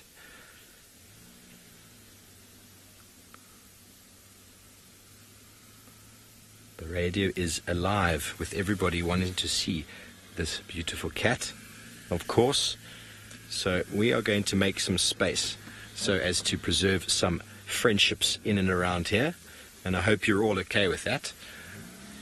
A lot of people would like to see a leopard this afternoon, and I think we've had a very nice look. We're going to move off back down to the dam and give these guys some space. Oh. Well, there we go. That guy's leaving, so we can we can stay then.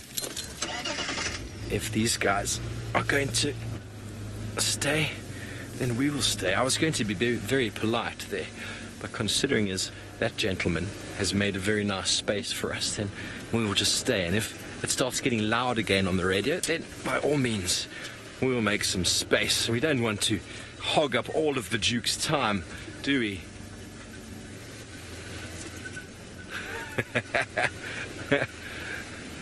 it's one of those sort of things out here so you want everyone as well to see the cat. Minamu. Okay, so male leopard will, as long as he's territorial and able to exert dominance, he will breed from the ages of three and a half, four. Some something can sometimes can be even younger than that, up until um, about now, 11, 12. Yeah, I got him there, Seb.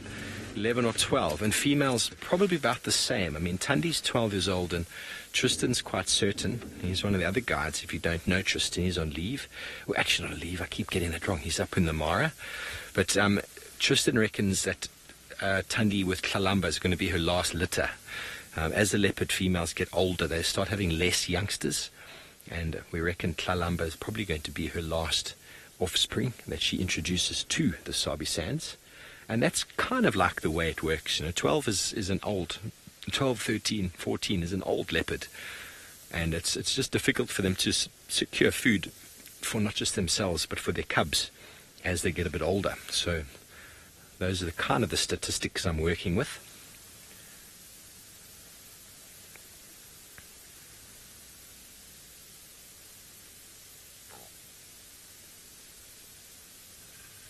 Saskia, there are many, many lodges in the Sabi Sands. There's Nkoro, there's uh, Arathusa, there's uh, Chitwa, where we are, um, Elephant Plains, uh, Sylvans, and that's just up in the north. And they've all got a number of vehicles and a number of guests that come into camp. And uh, so they're all out in these areas looking for these animals. Uh, it's why we have the radio to communicate and to keep in touch. And so for example, we were sitting there about to do the drone, and Peter, who comes from Nkoro, he managed to give us a very nice update that, um, oh, just by the way, there's a leopard here. We're like, okay, just by the way, we would like to come in and see Duke. And uh, that adds to our lovely Wednesday cat special. And he's definitely in the mood for a little snack. Amazing how he just lay down there just lay down and he's now invisible. So, for example, the one gentleman who's coming into the site now, his name's Ari. I actually trained him, he could training years ago. He works at Nkoro, and he was one of the vehicles that got me into uh, the Tingana and Hosana sighting on my interview. So, without the radio and without assistance from these people, it's very hard to find these animals on your own. Yes, we do bump them from time to time. Yes, we do have a lot of luck but trying to scour this entire reserve for, for wildlife on your own is very difficult. So using the radio can make it very, very easy, or a lot easier anyway. And so there is kind of like a, a respect.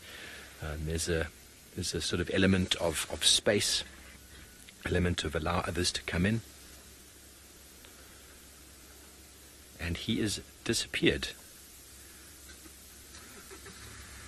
And Tingana has decided to lay down. You can imagine if he wasn't moving, how would we know? Okay, well, we're going to wait for him to come out, and while we do so, let's go over to Ralph and see what he's up to. So, everyone, it looks like that's very exciting. Well done, Steve, on finding Tingana. And um, here we go with James. We've spotted them. Hello, James. Hi, guys. James taking photos of us as we're videoing him. Senzo, I'll drive you over, buddy. Hello. Hello, James. Are you going to uh, have a look at the goslings? I'm going to. I'm trying to find these elephants. They're giving me the Uh, runaround. there's some, see, we can hear sounds of the north of the dam, Uh huh. but we, of course, have got to head home. Which dam? The big one you're going to now. Oh, fantastic. Okay, well, we'll try and find him. Thanks, Senzo. I'll give you two seconds and then you're flat.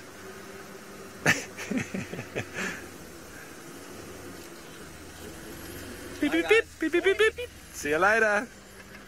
That's good intelligence uh, that we've got there from James. So we'll go and look for these uh, elephants if he's heard them because we were getting some fresh signs there. Um, and uh, great that Steve has found Tingana. Um, and uh, just some other news from the underground is that they've got um, Tundi and Cub over on Torchwood. And uh, they're doing very well. So just so that you know, um, they've disappeared over that side, but um, alive and well. So, James says just to the northern side of Buffelshoek Dam. Now, Sammy Jane, um, well, I was thinking exactly the same as you, wondering if there's any elephants here at all. I'm not going to stop at Buffelshoek Dam here because Scuba Steve is doing his usual disappearing act. And we won't disturb him. I think he's still waiting for his girlfriend to come back. But um, yes, it has been a little bit of um, difficulty uh, trying to find these elephants. Well, I know that they're here. We can smell them, we can hear them, we can see their tracks, but I haven't been able to see any since I got back. So that's actually my mission today was to try and find some. But I'm sure they're going to give me the slip again as well. But let's see. James heard them over on the other side of the dam here. So and I've still got lots of tracks on the road. It's a small breeding herd. So because and you can tell that because there's lots of small little tracks along with the big ones and generally the bulls are massive but these are sort of medium-sized adults with little tiny ones and also little tiny droppings as well, about the size of my fist. So it's still quite big, but um, for an elephant, very small. So let's head on up this way just a little bit.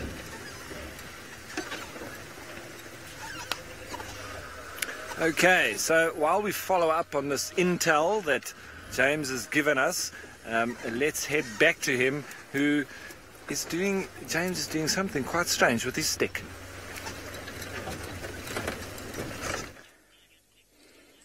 I'm not sitting on my stick. That would be a silly thing to do. I'm looking at a flower.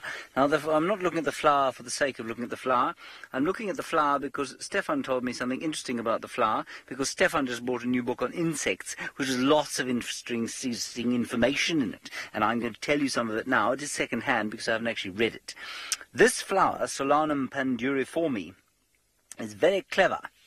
And apparently what the flowers do is they burst open in fact, I don't think it's the flower that bursts open. I think it is probably the sort of yellow bit there where the pollen is. It bursts open when it is in the presence of a certain frequency of sound wave. Now, that sound wave is the general pitch produced by a bee's wings. So if a bee goes past like this,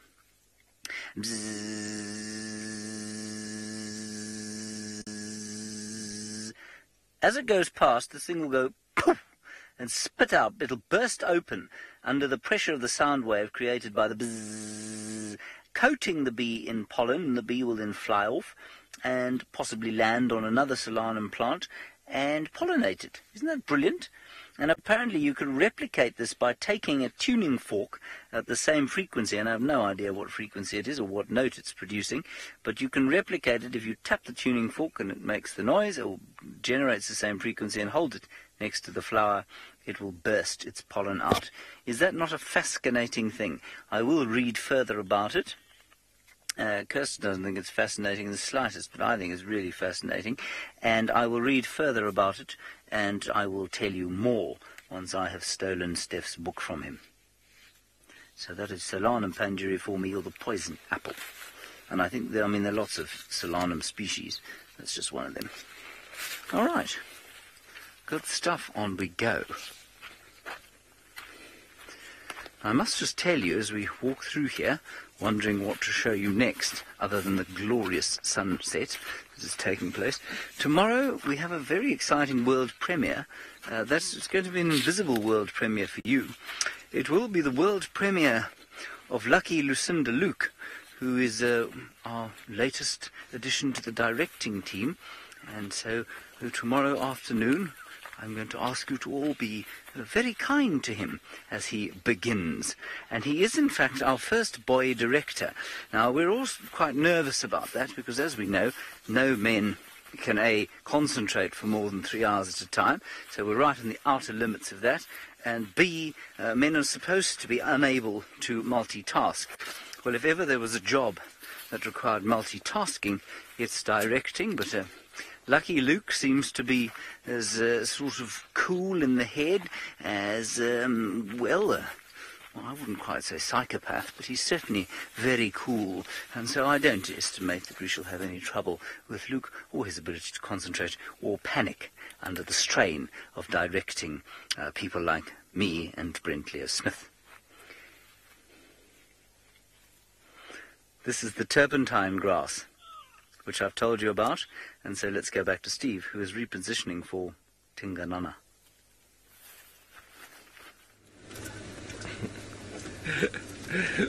We're not repositioning. I'm getting out of dodge because the radio is going absolutely ballistic. It's as if no one has ever seen a leopard here before. So we just moved out. Uh, let them have Tingana for a little while. He's probably going to cross Gowrie Main soon. So let them have him. Shame. It's as if leopards don't exist here. We will find another one at some point, but maybe they are finding it all very difficult to find leopards this afternoon. But don't worry, we will do our own thing. We'll move out. We go back down to Chitwa Dam, I think. What do you think, Seb? Maybe we'll find that elephant bull that we saw earlier.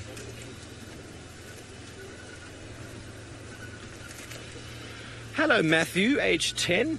Matthew, age 10, would like to know who chooses these leopard names, and uh, essentially, a lot of it gets discussed amongst amongst uh, the the guides that work here, and then uh, they kind of have a format and see what it sounds like and does it work. And I'm just going to pull over here because we've got an enormous amount of traffic all of a sudden. Let me just switch off and take a deep breath. Okay.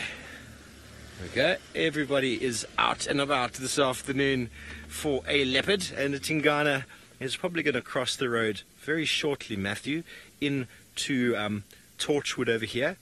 And there's a male impala right over here that might be very he might be very interested in them. But so the guides that work in and around here, the local guys, they will come up with the names or the names will be put forward and then as a panel they will choose the name that's more relevant or most relevant. Sometimes it's got to do with um, the property that that leopard was found on, uh, where it was born, who found the den site, and then we kind of work from that. So I hope that answers your question. I think we might just move up here and keep our eyes peeled. What do you reckon, Seb? Because we know the Duke likes to come across and then back into Djuma. and uh, all of those guys can't follow. So maybe we can be a bit sneaky here. The Impala will surely tell us where he is. Well, while we wait here for the, the movement of this beautiful cat to re-emerge into the open, let's go to Ralph and his search for elephant. Well, everyone, it's as I thought. Um, these elephants have, uh, like all the other animals, uh, made their way off into Torchwood. So that's on our right hand side here. And, uh, well, we're not allowed to go there. So we'll have to make our change to the plan. And that's now, I think we're going to look for uh, some of the alternative leopards uh, a little bit closer towards camp. Um, with Steve having found Tingana, going to try my luck with trying to find Hosana. Uh, he was quite near to camp yesterday, and, and the area he moved towards last night is where I'm going to start the search. But uh, having said that, I mean, he could be at Chitwa by now. Uh, he could be anywhere on the concession, he could be out of the concession. But uh, that's where we last heard him, and um, he was around camp last night. Lots of alarm calling going on. So we'll head off and see if we can pick up with him. Who knows, maybe Shadulu is back on the property. So we'll head into that area where she likes moving around as well. So that's the plan.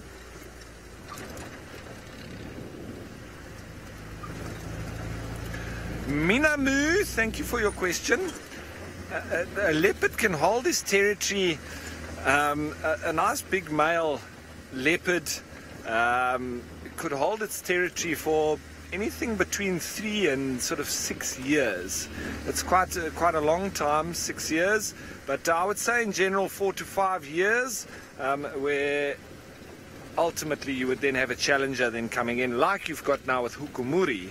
That's come in, and obviously the other two males have uh, enjoyed their time um, holding this territory, but now there's obviously a new new kid on the block, and uh, he's he's a very big male leopard, and uh, so they, they, they're feeling the, the pinch a little bit. They're still holding their territory, um, but he's moving in and out, and obviously making things a little bit difficult for them. So that's generally you know, there's no there's no clear-cut sign uh, or, or, time that leopards will have.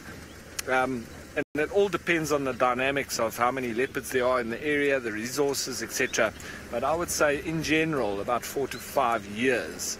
Um, and you can have a lot more than that, and you can also have just a year or two, uh, even less. Sometimes they just come and you can have a quick changeover of leopards, uh, depending on on the exact space and what's happening in the dynamics of the ratios, of sex ratios, etc. And um, as I say, coming back to the resources as well. If there's not much going on, and you've got a spot where there is some resources, well, you'll have a lot of leopards then fighting over the same place. So as we continue on the search for these uh, elusive spotted cats, let's head you on over to James and see if he's been able to find any tracks. We found tracks of the elephants uh, that went north into Buffelshoek. I think we were probably only about 45 minutes behind them or so. It looked like they'd come through here about 3 o'clock, said Rex. I'm not sure quite how he told exactly to that hour, but that's what he said. Now, I believe that many of you are concernedly asking about my laptop. It's very kind of you to do that. Uh, many of you know that I spilled coffee on it the other day. Uh, very kind of you to all ask. Now, remember, that very same day, we were offered a thousand five hundred rand odd, uh, that is uh, one hundred and fifty dollars, to wade across the Treehouse Dam. Well, I mean, the only reason we did that, as Senzo pointed out to me now, so that I could buy a new laptop. But yet, I've yet to receive that money, so I don't have a computer. Oh, okay. I am, of course, joking. Uh, the laptop is absolutely fine, thankfully. There's no problems with it at all. Now we've in a tributary, I guess you would say, of the great Mlowathi drainage, which is the big river that runs through Djuma. And I'm struck by the amount of grass here. Now we're standing basically in a little field of panicum grass, which of course is the Guinea grass, is massively nutritious and yet it has grown in an uneaten stand here. And that tells me, uh, I was walking along thinking, but surely the carrying capacity of this place, nothing's controlling it. Why wouldn't there be buffalo here? Why wouldn't there be elephants eating here? And I guess the carrying capacity of a place, of course, is defined by its dry season or, yeah, its dry season carrying capacity. And clearly, this area, after that large drought that we had, has a reduced uh, it's difficult to say that the pop. Yeah, I think it probably has. The Greater Kruger Park has a reduced population of large browsing and so you find these huge sources of nutrition that are going to go moribund and nothing's going to eat them. And I just find that sort of almost wasteful, but I guess it isn't. All the carbon will go back. Hmm? Now, Ryan in Texas, you're wondering what kind of plants or trees have the longest lifespan. I'm going to give you two answers to that. Here is a spider. There is the spider. Can you see the spider, Senzo? Mm-hmm. And it's suspended its little egg sac up here, and I think it's one of the wolf spiders.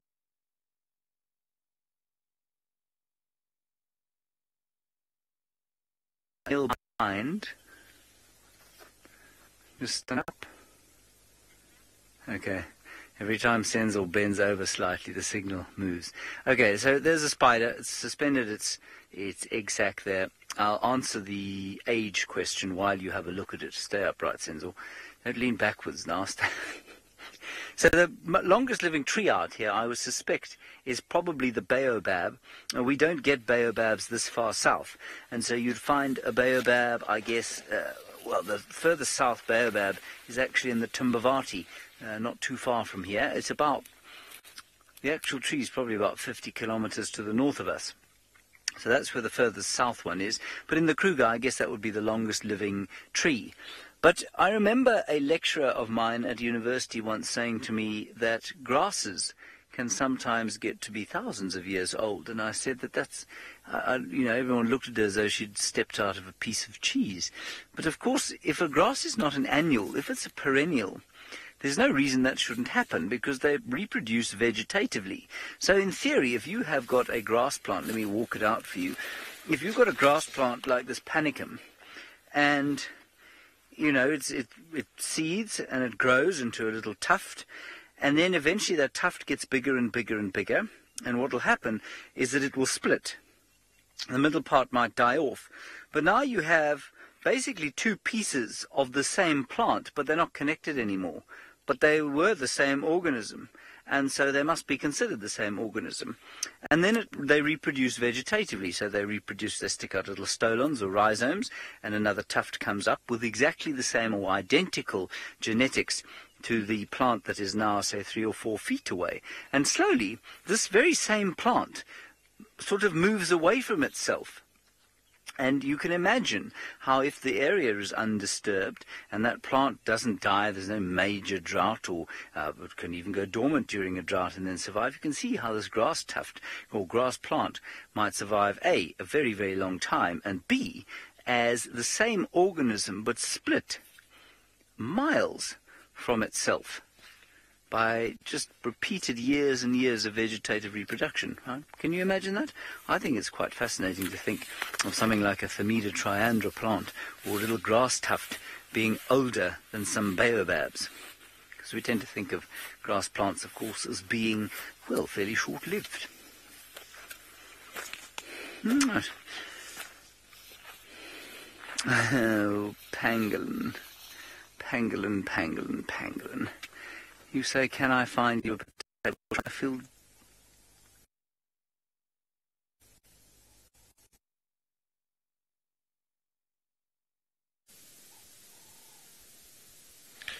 Terribly sorry about that. James was obviously wowing you with such so much amazing information that he lost his signal.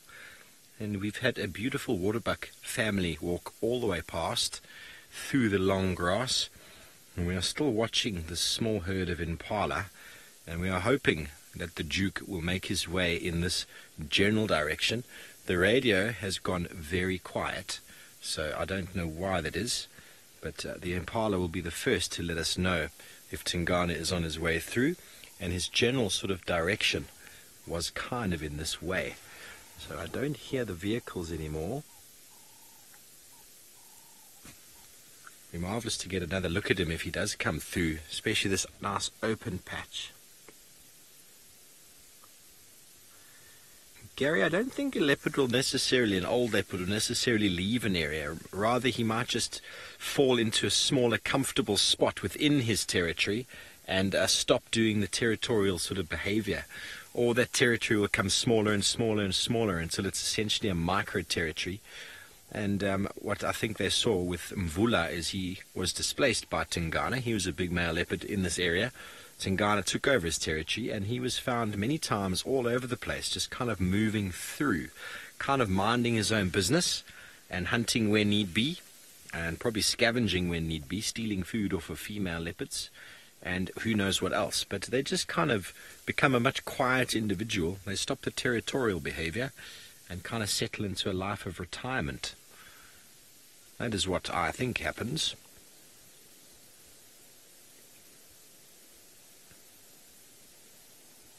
It's beautiful afternoon light on these impala.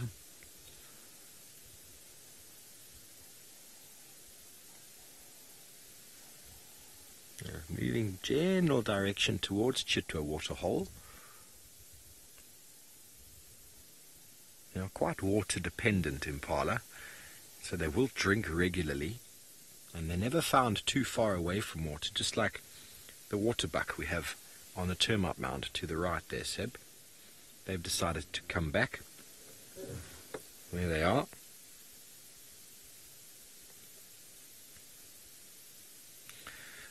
Andrew, it is Sebastian Rombi. He is on camera, and indeed, I think it is magnificent camera work. It's so good that, and he is thanking you back. And um, it's so good that the waterbuck have decided to come back into a cameo pose on top of that termite mound. They are even more water dependent than the impala we just saw and very bulk grazer. They need about 60 litres of water a day. They only weigh about 250 kilograms. A buffalo, who weighs three times that, needs 36 litres a day. So the waterbuck's need for water is enormous. And you can see it in their dung. Their dung is always very, very wet. but they have evolved to be in very aquatic, moist climates, and so their need to drink is very, very high.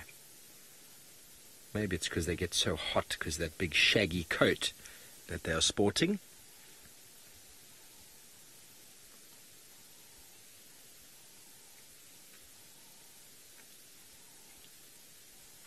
Evening is slowly starting to dawn on us. The colours are changing.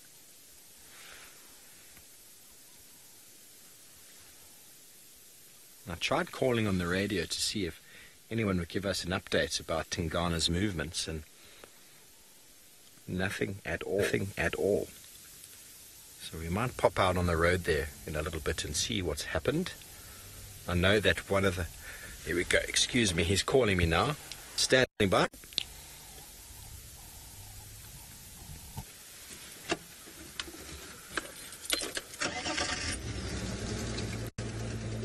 Fantastic. I'm making my way firm. I'll get you on Gary, mate. Okay, so it looks like the, the madness is quietened down. And we are going to quickly zoom through there and spend some time with him. Why not? Seems like the waterbuck's movement has been completely arrested by the fact that there is a big male leopard in the area. Well, while we continue on, I thought Ralph had stopped his search for elephants, but it seems like he's back on it. So let's go to him, see what he has to say. Yes, we are on the search, everyone. We've come back to uh, Vuyatela Dam just to pop in and have a look here. And as I said, the idea being that we're going to try and follow up on Hosana a little bit. Um, there's nothing here at the dam itself, but um, we're going to he was spotted here yesterday evening, so this is where we're starting now. Perfect time of the evening for him to be nice and active. So we've got a good chance to find him if he is still around. Um, there's every chance he may have moved off. Anyway, we've got a lot of wildebeest up ahead here. As we started the game drive, they've all moved down now onto this plane and it looks like heading towards the water. Maybe they've already had a drink, maybe they're going to still have one. I'm not quite sure, but the impala seem to have come with them. And maybe we'll just go and sit with them for a minute or two and just see if they pick up any movement of any predators. As I say, one of my mentors always told me if you're trying to find a predator, stay near to the food.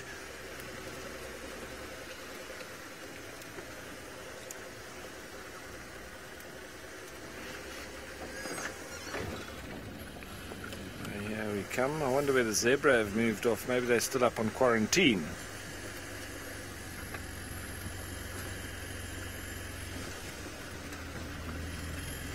Uh, Jamie, that's a very good question. Uh, the human equivalent of scent marking, well, um, Jamie, it's marking your territory. So I, I would have to say something like. Um, you know, staking your claim. So we uh, probably the first kind of humans were the ones that rode out on their horses and they staked their claim with a little red flag and they put one flag down, then they rode off and, and put another one down and made a big square and that was their uh, property that they were then claiming off. Um, but uh, I'd say modern humans well, it's where you go and get your, um, once you buy yourself a property and, and you get your title deed, maybe. Um, but I would say maybe on a smaller scale, it's uh, wearing deodorant. Um, or with the ladies, maybe something like Chanel number five, putting your perfume on, marking your, uh, or getting some smell in your, in your personal space, and that other people can then smell you as well. I suppose everybody's different, but uh, we do have a primeval sort of instinctive nature to us, regardless of how civilized we think we are. An impala just next to us making some noise, but that's not uh, alarm calling. You see, that's rutting. Look how they're chasing each other. Looks like. Is that a young male? Yep. See, one of the big males chasing off with a youngster. He's probably getting a little bit too big for his boots. So that bigger male now is just putting him in his place a bit and telling him you either pull your weight or off you go. So we're just waiting for these impala to let us know uh, if there's any leopard around. And speaking of leopard, Steve's found his again. Yes, we have. We're back with Tingana. He's only a meter from the road itself. Kirst, I would suggest getting Ralph to check Treehouse Dam area if he wants to find Hosana.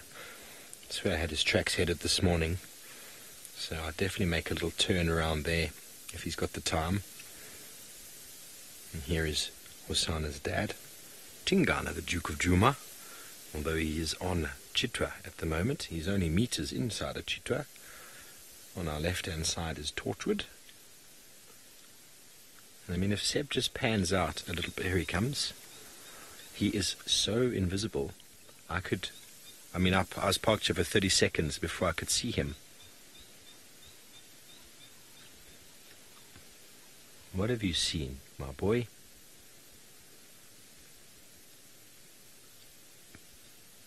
Ah, there goes some water back across the road in front of us there. Don't think that's what he was looking at.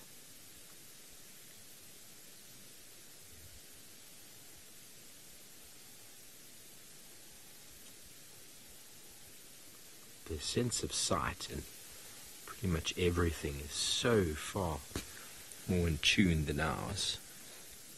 And here he is, in the road.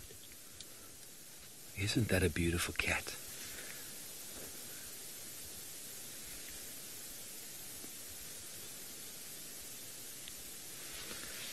Yes, Monica, just gorgeous. And this is why we, we track on the roads, because they like to use roads. It's very quiet on their feet.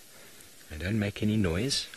And then as soon as they detect any prey upwind or left or right of them, then they'll move in that direction. So we're going to start up and see if we can stay with him.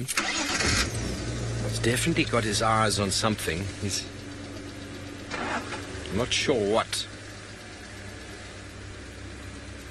We don't want to disturb him though. The aging Duke needs every meal he can get. So we'll just follow him. As soon as we spot whatever it is he's kind of having a look at, he might only be hearing something because I couldn't see anything in the distance apart from that waterbuck that crossed the road. And that herd of impala were slowly moving down here as well. And a lot of animals will start making their way sort of to Chitwa Waterhole and to the open area there as night falls. This is probably one of his ploys to spend time in and around the area of abundance. Breed Bree, it is very calming to watch his paws on the sand. I'm going to just stay right there because he's going to go, if he keeps going forward like that, we're going to lose him in uh, Torchwood. But um, that is okay because we've had a marvelous time with this, the Duke and he is such a beautiful cat. It's a beautiful, beautiful cat. That posture, he's still looking in great condition. You know, as soon as a leopard starts losing condition, you really see it sort of in the hips, in that sort of area. Yeah, that's it, Tingana. Stay on the road for us. Catch something on the other side of the road.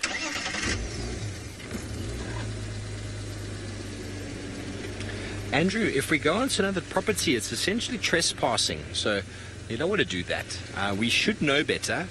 So if I went over there, I would deliberately be trespassing rather than accidentally trespassing.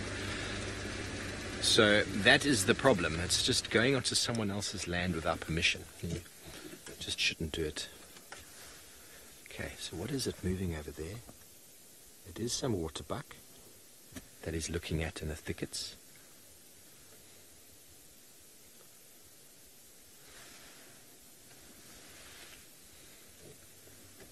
I'm just going to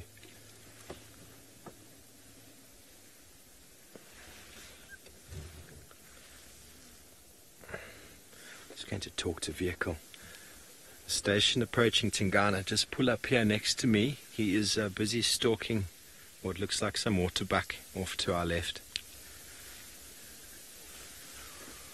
Okay, so he's very low in the grass. Let's watch this.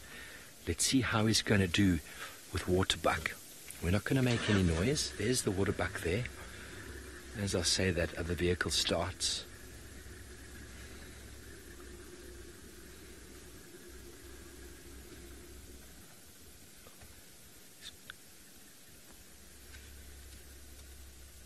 Just going to let Jos know.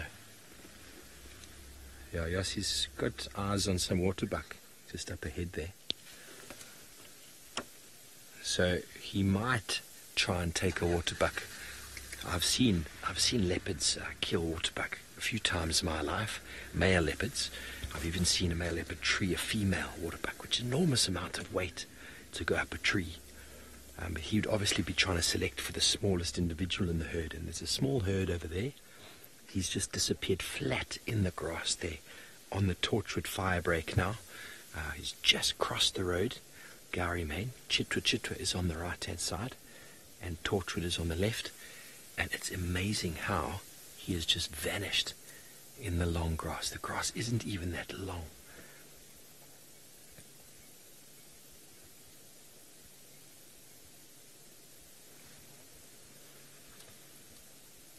Here he goes. He's running. He's trying to get a. You see how he uses the road for silence? By running through the long grass, he would make noise. So by running along open clearings or along pathways, he makes um, yeah, the waterbuck are cutting across. This is going to be fantastic if we get to see this. There are the waterbuck, and there is Tingana. And there is a semi sub-adult there.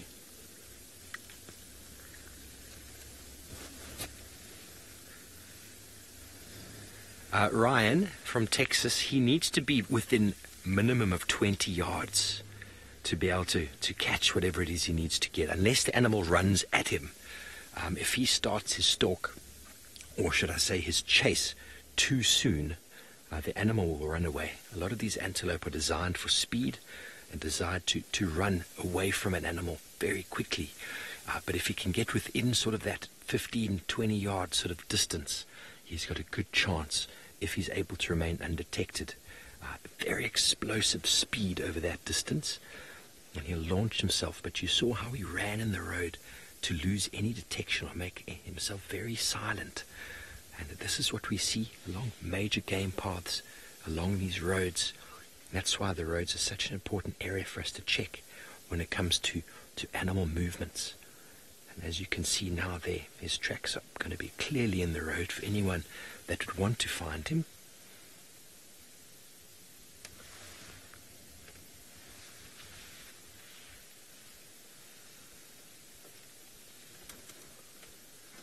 Just going to roll a little bit forward, make no noise at all. Those waterbuck are no doubt going to cross the road right in front of him. There they are. Look how he's now flat.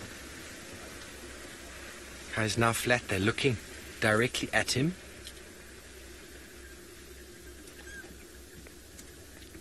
Waterbuck had no idea.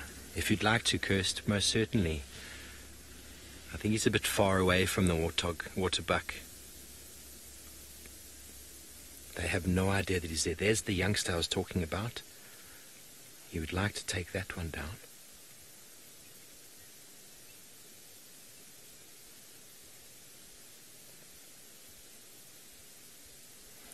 Good afternoon, ladies and gentlemen. Welcome to Safari Live. We are with a big male leopard by the name of Tingana, the Duke of Juna. Djuma. We are in Djuma, in the Sabi Sands. On my right hand side is Chitwa Chitwa, and this male leopard is busy stalking some waterbuck. My name is Steve Falconwich. I'm joined on camera by Seb, and this is fantastic stuff in the afternoon. It's getting quite late. It's getting nice and dark. Uh, he was running along the road to try to sneak up alongside his waterbuck, but I think he's missed his chance. I think he's missed his chance. We are joined by other vehicles in the sighting, uh, landowners from the north. And, um, yeah, I think he's given up. That's how it is. The action can unfold very, very quickly, and it can end just as quickly. He didn't quite get close enough along that sort of line that the waterbuck were using. They are indefinitely, well, they're most definitely moving towards the, the dam, Chitwa Waterhole, which is down towards our right. And uh, he didn't cut them off quickly enough. If he'd gotten a little bit further forward, he would quite easily been able to try and catch one of them. But a waterbuck is no easy meal for a leopard. But he is a big 11 and a half, 12 year old male leopard. He has been the dominant leopard in this area for the last four or five years, and he is the father of many of the youngsters around. Paula, he was watching something. The waterbuck crossed the road just in front of him, and now he was crouched down flat on the ground, and now he's gone from a very flat, crouched leopard to a semi-flat leopard. So I think he's realized that he's missed, and he's conserving his energy now. Uh, but his ears are still moving. You can see how they're moving from left to right. This is the perfect time of day for leopards to stalk. They are very opportunistic. if something moves and is edible, they'll definitely have a go. It's all about energy expenditure. That's why the movements he's done to get into this position, he's now resting to recoup the energy lost. But I think the chase is over.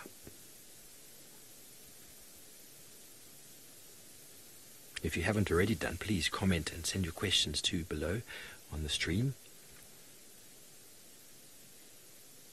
The action started out and ended very quickly, as is what happens on a live broadcast. I think that might be it for the afternoon. Guard monkey, he's always listening. Those ears are always moving and moving and moving, picking up whatever sounds that they can. They're very susceptible to any movement, snort or hoof or shuffle in the grass. So even though he looks like he might be at complete rest, something could trigger him and he would immediately react to it. If any of you have got domestic cats back home, you've probably seen that. Your cat is sitting fast asleep their ears are twitching, and as soon as something catches their attention, immediately they attack it. So, ladies and gentlemen, I'd like to thank you for joining us on this very short broadcast. Uh, it is live, and if you'd like to keep watching, we are still on Safari Live, so just Google us and continue the show. Thank you for joining us, and have a good night.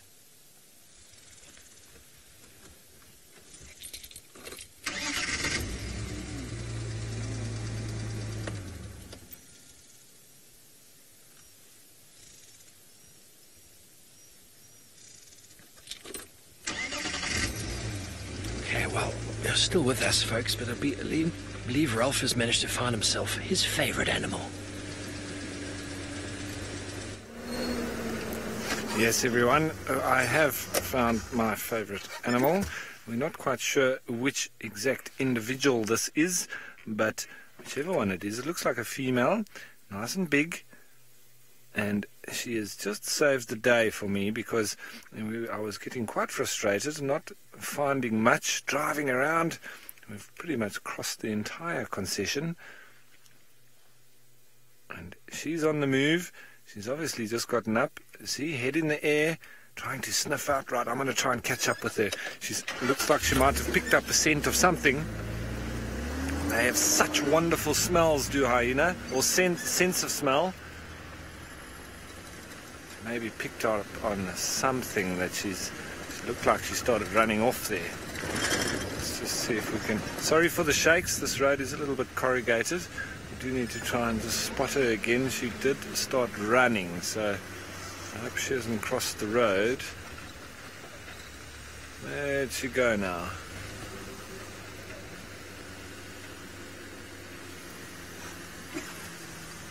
Up ahead? There she is. Yeah, she's going to cross the road now, I think. She's going to come onto the road at least. There she is. See that head up? sniffing as she goes, trying to pick up any scents. Incredible.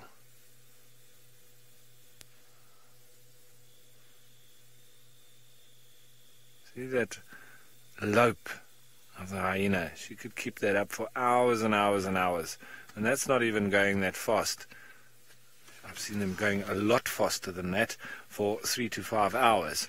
So let's catch up with her a little bit. Uh, don't go that side. Don't go that side. It looks like she might be going off into Torchwood. And if she is, we can't follow. It's pretty much where the elephants went. And like I said, it's pretty much where all the animals have gone. It seems it's all happening in Torchwood.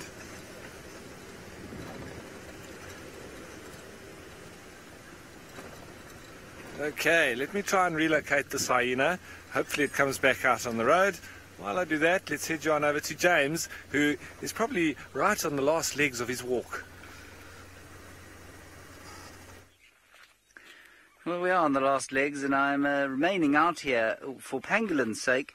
Uh, she or he is looking for a potato bush. Both Rexon and I can smell one somewhere around here, and we're just looking to see if we can't find it. It is that inconspicuous. And I, Pangolin, like I say, I hope that you're not going to be deeply disappointed. Let's go down here, regardless. Don't fall, Senzo.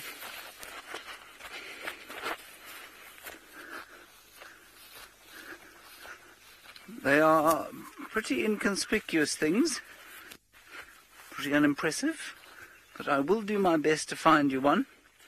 It's the kind of area they'd grow in. I, I, you've heard me say that before, of course. But I, I can't smell it anymore. They're a little bit like, um, I guess they're a little bit like cicadas.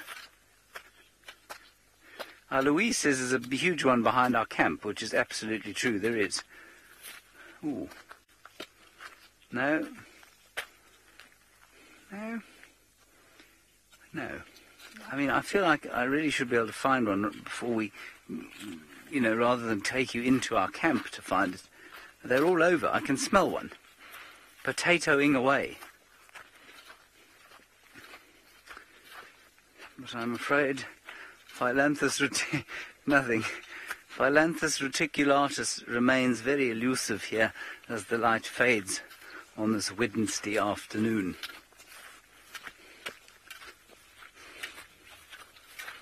Let's just go up here quickly and see if we don't get very lucky. That light you can see, by the way, is the light of the dam cam. For those of you who watch the Djuma dam cam.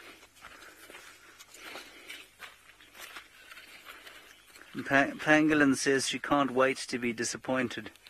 Well, I I hate to say this, but I can't wait to disappoint you. Is that is that am I allowed to say that? Ah.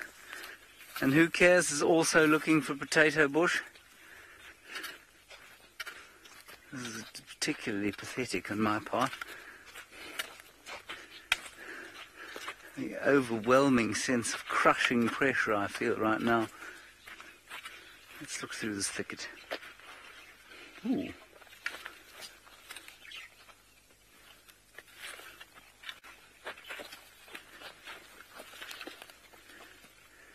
No, no, that's a whiteberry bush. and I believe the zoomies are watching us on the dam cam. You can see Senzo patiently traipsing around backwards. Don't fall over, Senzo. No, Rexon's given up because he knows there aren't any around here. No, I'm afraid Pangolin.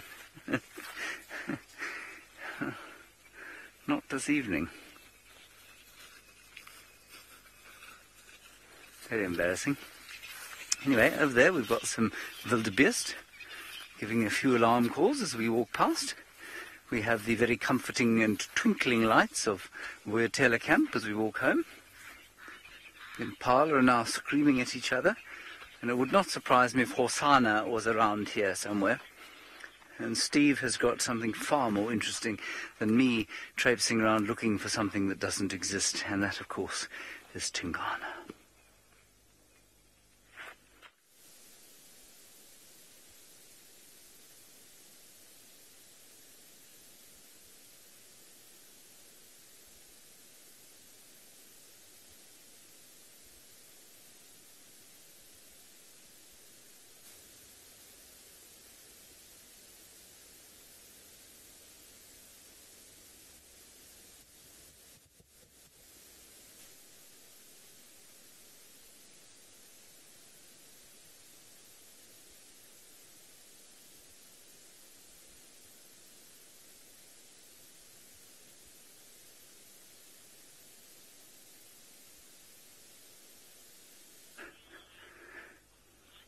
Sorry about that. Apparently there are some uh, battery problems in the microphone pack, which I find absolutely astounding. Anyway, so it goes. I guess those batteries will need to be thrown away. We're still looking, can still smell potato bushes. Mm-mm. No. No, they just don't. I was saying they're a bit like cicadas. You can smell them, but as soon as you get close, you can't smell them anymore. Okay, let's go back to Steve. He's managed to put some batteries in his microphone.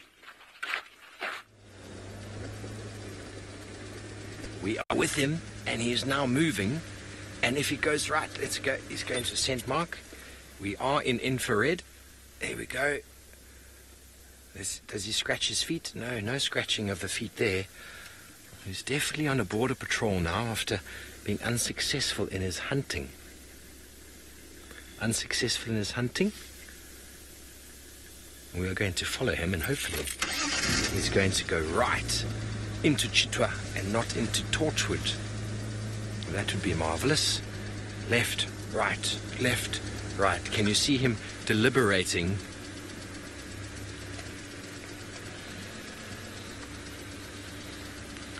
Um, Barbara, you want to know an interesting question. Um, if cats are scent marking, then they definitely are advertising status. And I think through the smell, other cats are able to pick up exactly who they are, what their reproductive status is, who they are, everything. There are so many things or questions about it that have been possible for us to ascertain. They reckon that the, the pa- anal pastings that hyena do have probably got about 80 characteristics to them that the hyena are able to sort of ascertain when it comes to when they smell it. They know the clan size, strength, health, reproductive status, so many things. We can only assume. Possible impossible for us to guess, though. Seb, I'm going to try get up on the side of him there. That's okay with you. He's quite relaxed to the car, folks. So I'm just going to sneak up on the side of him.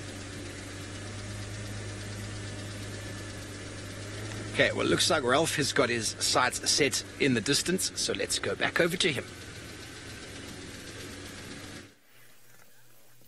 Yes, everyone. So that uh, that hyena gave us a slip. She disappeared off into Torchwood. It seemed like she had a, a scent of something. She was on the move, running off with her head held high. But look at this. We're looking out over the Drakensberg. Those are the mountains there in the background. They start here and they head all the way through into KwaZulu Natal. And, um, well, that is where J.R.R. Tolkien, um, the author of Lord of the Rings, got his inspiration for, for the book that he wrote. Remember the Drakensberg, meaning Dragon Mountains? And he lived um, not anywhere near here, but he was further up in, uh, further down in in the KwaZulu Natal province, and he lived there at the foot of the mountains. And as a child, he used to play and hike up in the mountains, and um, that's where a lot of his inspiration came from. So very interesting indeed.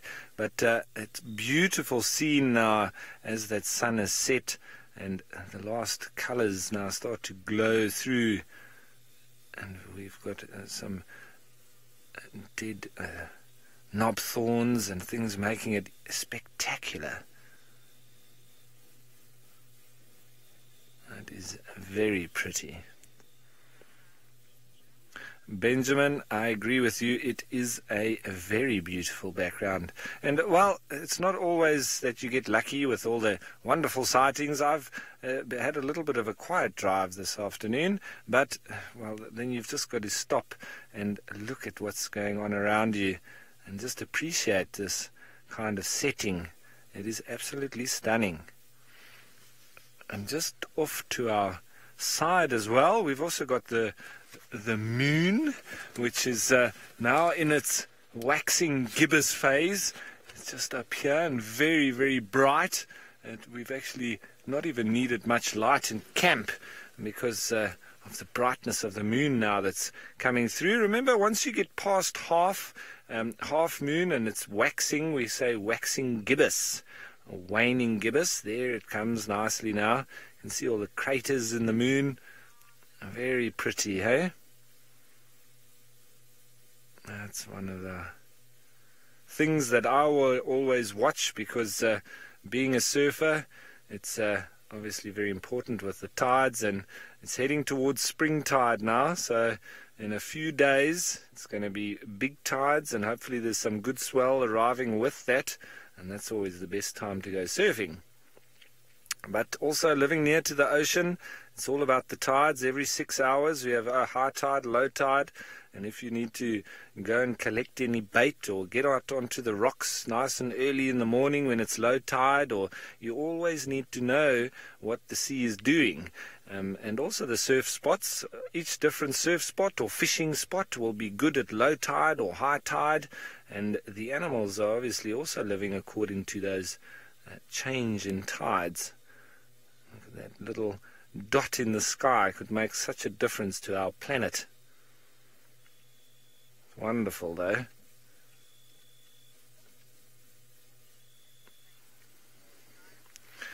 So, from one lovely scenic um, picture that we have, let's head you on back to Steve with a beautiful animal. Yeah, thank you very much, Ralph. We are very close to Tingana now, right up beside him. We've had some marvelous shots of his face. His ears are twitching in every direction, his eyes, his body's very alert but he still has a bit of a catnap in him. He's listening to the sounds around him that pique his interests. What's going on in that mind?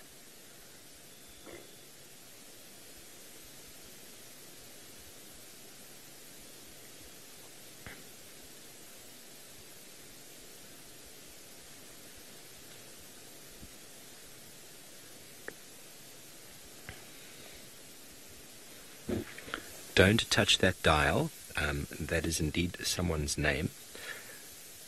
You want to know about eye contact. Well, cats, especially leopards, direct eye contact with a leopard is considered a challenge because they are solitary. So I think with any solitary cat, eye contact is considered a challenge and a threat. With lions, it's very important to maintain eye contact because that is basically showing confidence. But when leopards, for example, the way Tingana is sitting now, if another male leopard happened to rock up on the scene, he would not look at him. He would maintain the sideways, sideways posture. His jowls would, would be very large and hanging, and he'd probably be growling at the same time. And uh, that would be indicating to the other male that I've seen you, and I'm bigger than you, but you don't want, they don't look at each other. As soon as they look at each other, it's a direct, direct challenge, and that could often lead to something more. So if you do encounter a leopard on foot and you need to back away from it, you look at it sideways without looking at him directly in the eye. That is the best way to do it. But every now and again, a leopard, when we're on the vehicle, will look straight through us, straight through the soul, and it is quite something to experience. They really do see straight through you.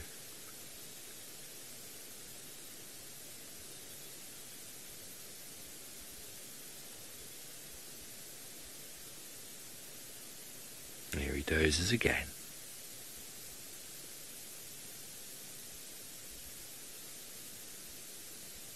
He's still lying on the road. We've both been with him this entire time. He hasn't deviated too much.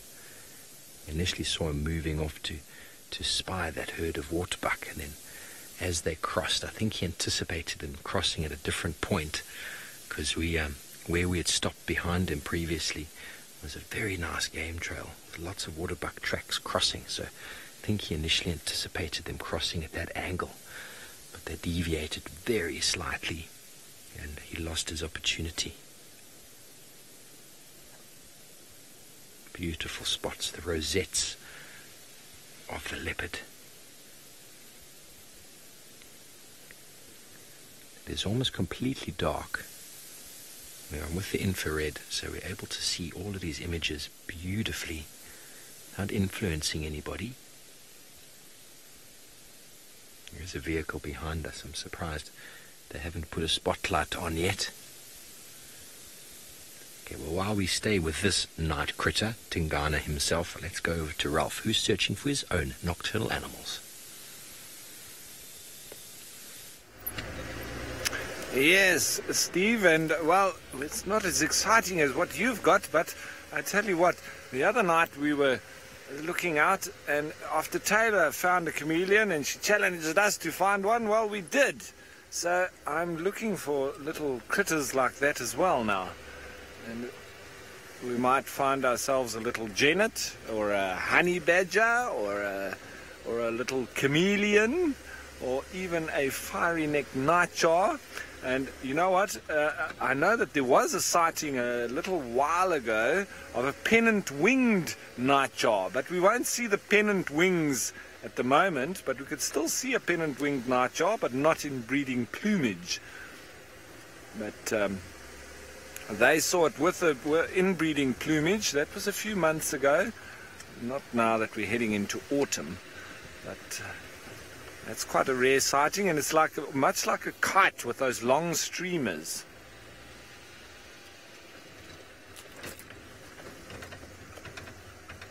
Nandini, that's a good question. Um, birds don't particularly uh, mark their uh, territories by scent. More what they do is they mark their territory by calling. So like a lion does when he calls or roars, uh, the birds mark their territory more so by uh, all their little calls. And they will actively fly around and defend their territory as well. But the biggest mark that they do do is through audio. Now there's a little gecko that just disappeared in there. And there he is. If you can see him, if I stop here, he might poke his head out. I think you might just be able to see him there. He was poking his... You can see his foot there. He was poking his head out. There he is. Look at his little head there. There he is. Hello, little chap. I'm not exactly sure which gecko this is, but we'll wait and see if he comes out. Yep, we can see you, but we'll pretend like we can't. Come on out, buddy. Uh, thank you, Steph, in FC, telling me it's a thick-toed gecko.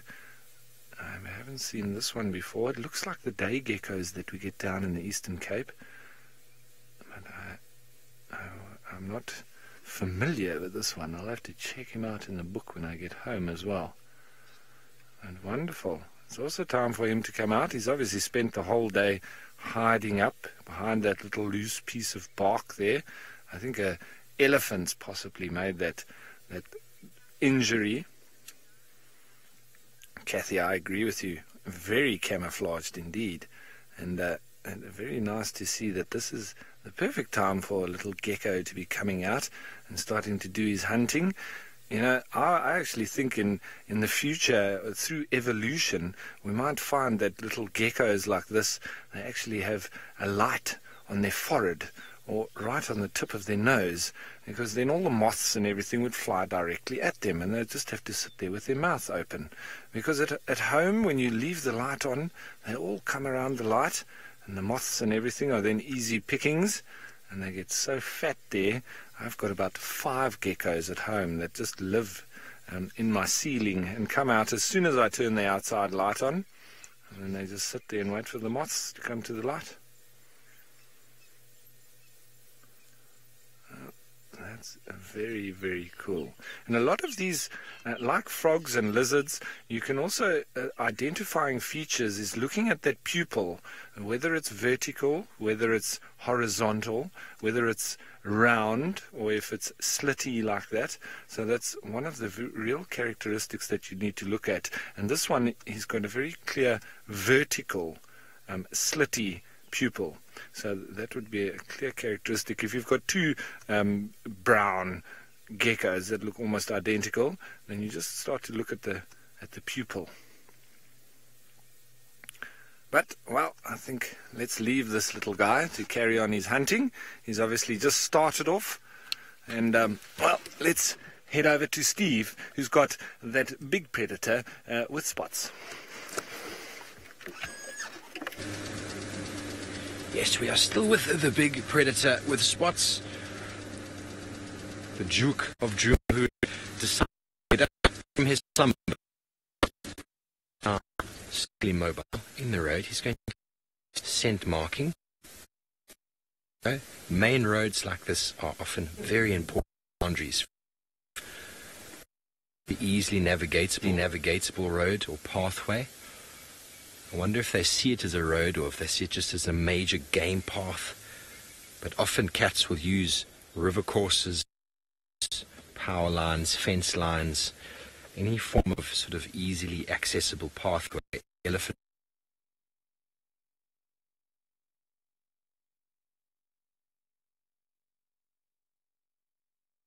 space. Oh, I'm not going to get up there. Wow. that is a proper embankment. Sorry about the signal there, folks. We've got someone joining us. Afternoon. After you guys. Enjoy. There we go. That's Ryan from Arathusa. Okay, so it's nice that we were able to get someone else into the sighting. There he is moving. What's he doing? Has he spotted something on the left? Don't go left, Tingana. That is Torchwood, young sir. Oh, he's smelling something. Someone has visited that bush.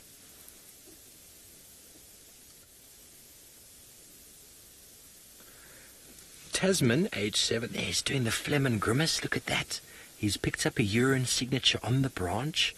And now by lifting his mouth like that, the urine signature goes into the top of the mouth and it indicates all sorts of pheromone sort of things in the brain. Female status, male status, all sorts of things. Now, Tasman, age seven, leopards will eat as often as they can, but they can go for a week and a half without eating, but they don't normally do that. They sometimes will eat every day. It all depends on the time of year and the conditions available. But leopards will eat very regularly, but they can go for some time without food because they have such a large protein diet when they do eat. Now, he's very interested in that bush. There's probably a female leopard who's come along and scent marked. And he's getting very excited about it. He's rubbing his head in there. I wouldn't be surprised if he turns around now and scent marks on top of her. You can see that his mouth is still open in that grimace.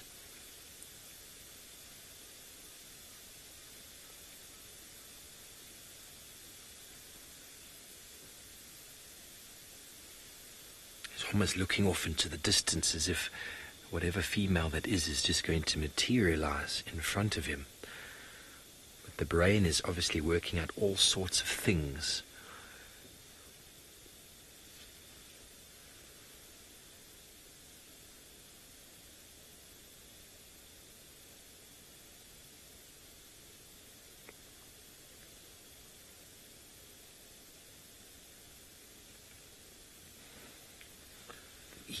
Yes, Francis from Israel. The females will flehmen grimace as well. You'll actually see it in many, many animals.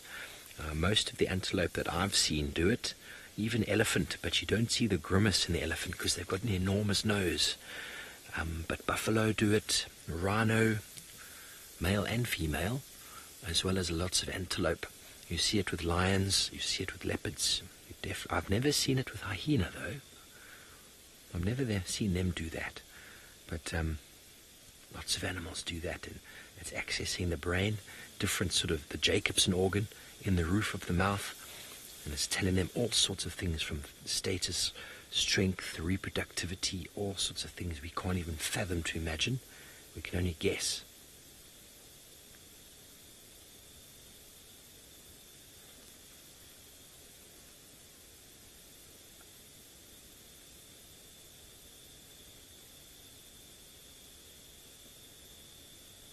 He's really enjoying this little Facebook status post.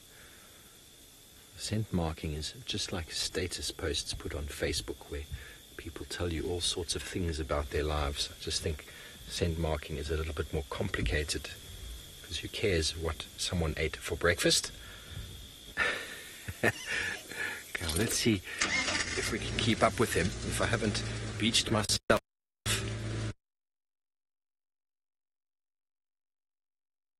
Duke, let's go back over to the Duke. Let's go back over to Ralph and see what he's managed to find.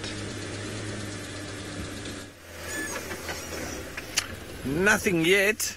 Um, I'm still looking sharply in the trees for any little bush babies or any of the little chameleons as well. You know what? Sometimes at night it's actually a little bit easier than spotting things than during the day because you very often just see the reflection of the lights. So just using a spotlight like this, obviously we don't want to shine on the diurnal animals, but uh, it can help quite a lot.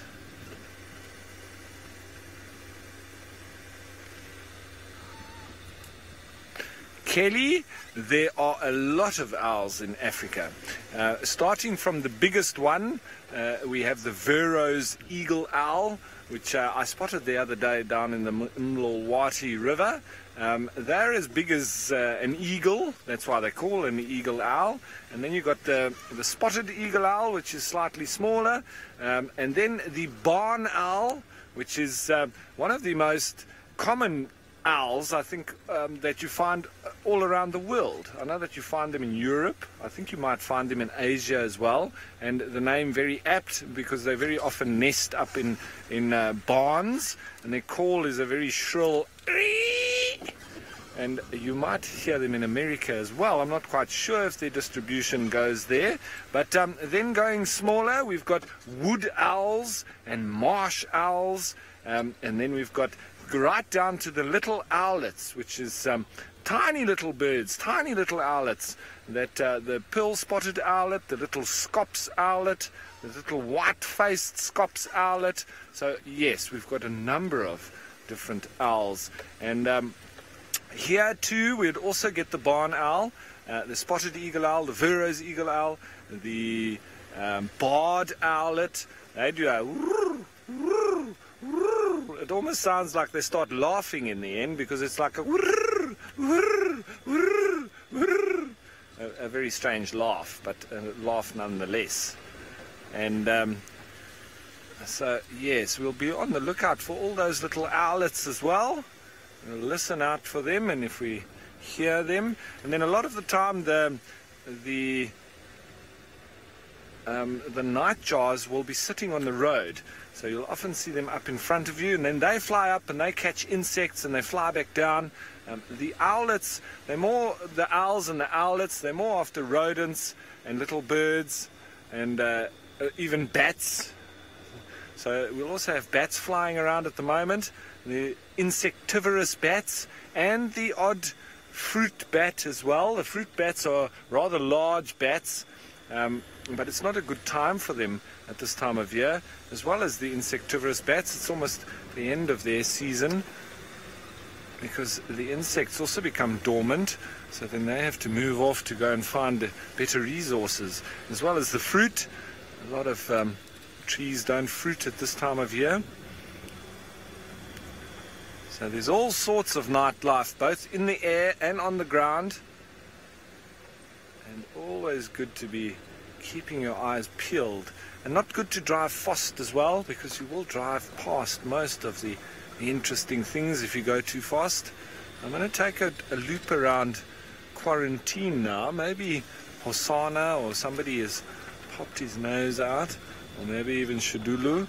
So I've been hearing the guys quite regularly uh, getting leopards here on quarantine quite late well, late in, in, terms of late of the drive, but uh, still early evening.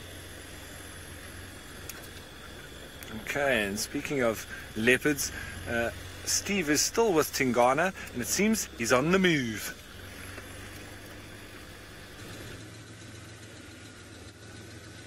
Well, we are with Tingana, and we the last vehicle that we were with, he's now gone into Chitwa, which we're quite happy about. There he's doing his scent marking. But what is amazing is that as Ryan, who was with us there, turned around, he's now got a female leopard in the road. So I, am kind of torn between what to do now. I, chances are the female leopard's going to cross into Torchwood, and Tingana now is going to go into the drainage. So we're going to have to make a decision very soon about what we're going to do here.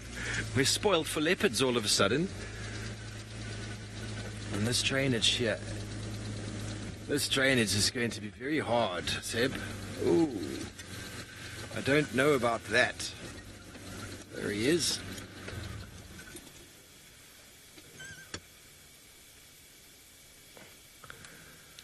Okay, Kobe, thanks, Ryan. Probably Hosana or Tamba. So it's not a female. It's actually a male, young male leopard that they've managed to find on the road there. So is it Hosana come to stake out his claim with his dad? Is it Tumba coming to do something similar? I haven't seen Tumba, the young male leopard, in some time. Yeah, Kirsten's thinking it's Hosana because he loves to follow Pops around. Mm. Seb, I don't think we're going to get through there. I think maybe we should go. Kirst, what do you think? Should we go back and see this cat on the road?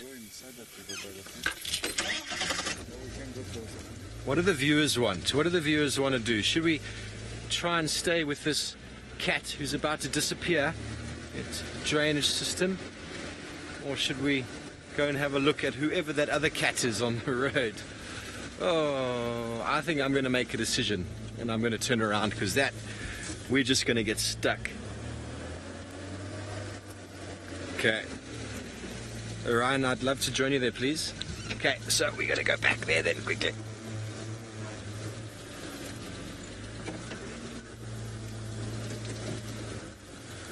Okay, so let's go. We're going to zoom quickly.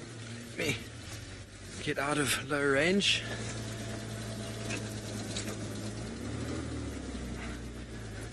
Ali, yes, Hosana is a daddy's boy, and uh, it would not be the first time that he has decided to show up and see his dad. Find it marvelous that he does that, and uh, quite strange at the same time. But it is behavior that we are seeing and we are documenting, and uh, we're going to have to keep our eyes peeled because apparently he was not on the road. Ryan has just left, but he's moving towards the road. So let's keep peeled, shall we?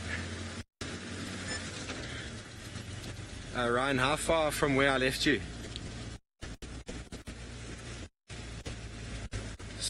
Far from where I left you? Did you see him?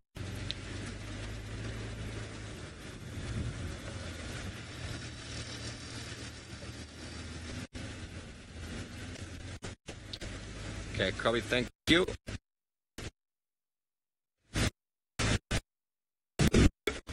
We don't know who it is. The leopard madness continues. It's closer towards cheetah cut line. It's closer towards cheetah cut line than before. Seb has even got his own light out now. We don't want to miss whoever this beautiful cat might be.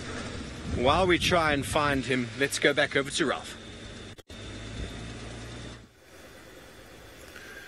Yes, well, that seems it's all exciting on Steve's front.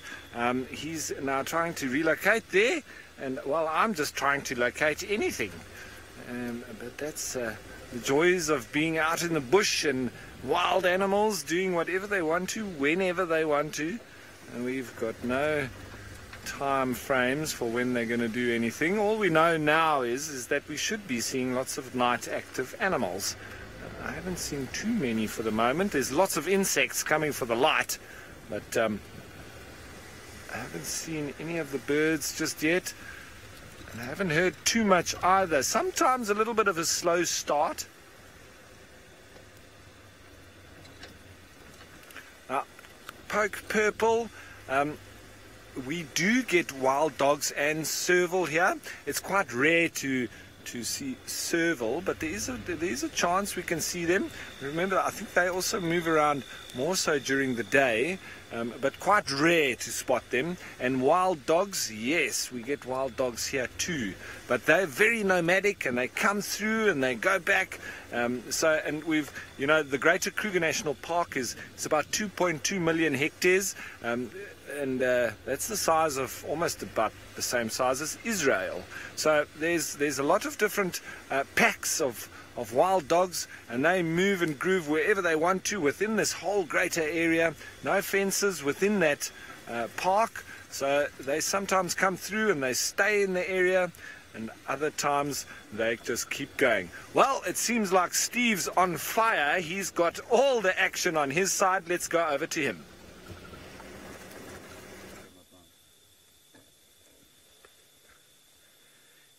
Can't help that patience pants are working off this afternoon. It, this does indeed appear to be Hosana. Let's see. James Richard showed me something about the, the bottom of his tail. Can you see the bottom of his tail, Seb? Just where the tail meets. No, you can't see it there. There's like a nuclear sign there where his tail meets his bottom. You can't really see it, but I saw three spots on the right hand side and three spots on the left. It looks like Hosana, indeed. Orion initially thought it was a female leopard, and he's come in maybe 50 to 50 to 80 meters further west than where Tingana came out. So it's almost as if he can smell Daddy-O in the air, and he's trying to find him. How marvelous is that? He's looking into the darkness. Bear in mind, folks, we're on infrared. It is impossible to see. And he is looking straight into where we had Impala earlier by that small pan as you come into Chitwa from Gowrie Main. We're not far from that junction at all. And he's looking straight in that direction for we're not quite sure what, but he's listening. He doesn't seem to have spotted anything. That is indeed Hosana. Does everybody agree with me? So he's probably been walking from where we left his tracks this morning. And he's probably been this entire time walking all this way because he likes to jump between Chitwa and Djuma. Uh, if you didn't know it before, this is indeed my favorite leopard. Well, thank you, James Richard, for confirming it. I'm getting much better at my identification. I know last night I found it quite difficult because he was crouched down looking at us. I couldn't get a look at the spot pattern, and the eyes were wild as leopard's eyes can be, and on foot. It doesn't really matter who the leopard is when you're on foot. That's a leopard on foot. And last night was one of the highlights of my year, I think. Definitely highlight of the year. When we found Hosana last night. What was last night? Barbara, you are 100% correct. Hosana is not your average leopard. I think that's why we love him so much. Definitely one of the crowd favorites out there. He definitely gets enough airtime.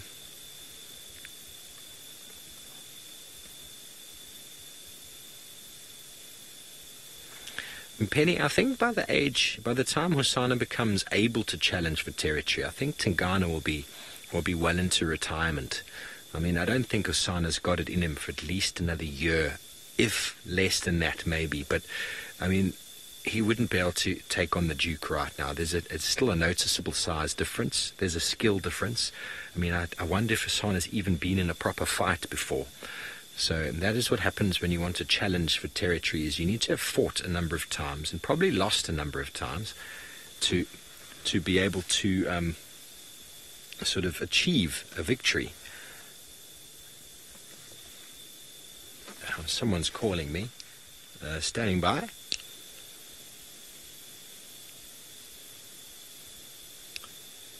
I'm stationary on uh, Chitwa Access with Gowrie Main.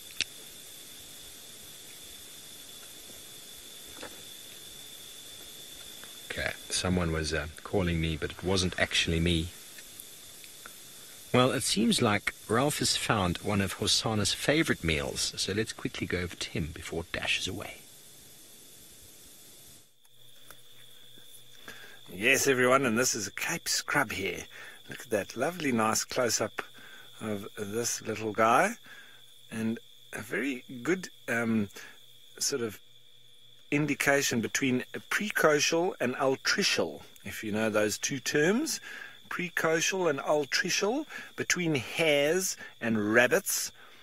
Precocial being the animals that are sort of born ready to go, and that that is grouped in with the hares. They their young are born above the ground with hair. Their eyes open very quickly, and they're able to run off very fast. Whereas um, the rabbits They're born underground, they're hairless, their eyes are closed, and they're pretty much useless for the first while. So they need to gain in strength, they need to be fed by mommy, and um, they're not able to move around very easily. So a nice, good indication between the two altricial and precocial babies, between hares and rabbits.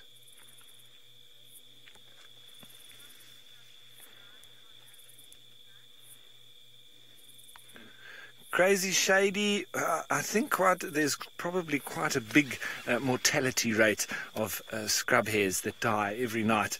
Um, but you know, they're quite fast, so they, they can move, and they've got those big ears, so they can hear animals coming. But um, it's from jackals to caracal to black-footed cats to leopard to hyena. So they need to breed a lot because they get eaten a lot. So high mortality rate equals high natality rate. Natal, natality is the birth rate. So they've got to have a higher natality rate than, than the mortality rate. Otherwise, we wouldn't be seeing them. They would be extinct. So I think let's carry on down the road and see what else we can find. But I think that might be the last you see of me because uh, Steve's got Hosana, and well, that's too exciting not to miss. Over to him. Yes, we are. We have officially confirmed through James Richard and myself the Hosana, the little chief, the little prince, and that look I'm getting so familiar with at the night time with those enormous pupils. His beautiful eyes, you can't really see the color of them in the darkness, but they're a beautiful brown color. Um, Tumba's got beautiful blue eyes and enormous ears. And Hosana has made his way. He seems to be popping from dam to dam, from Vuyatela to Chitwa, as if it is a game of ping pong and he has moved only a few meters further into Chitwa as we arrived. And he's just listening. There's hardly any air whatsoever. He's listening. His ears are perked. His eyes are alert. You can see there's a little bit of air movement behind him there, but it's not really much to be pushing any animal scent towards him.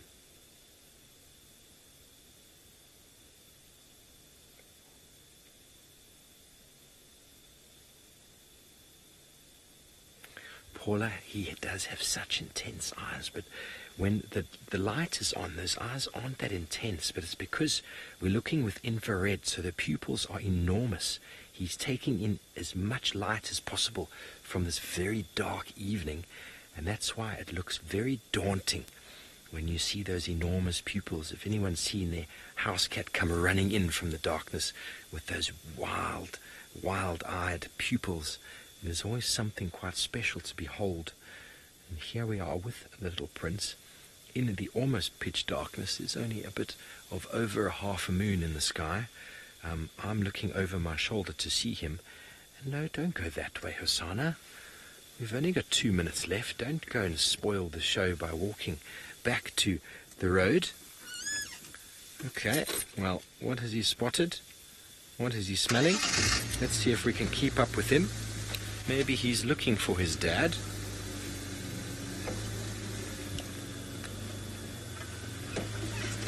Okay, let's go.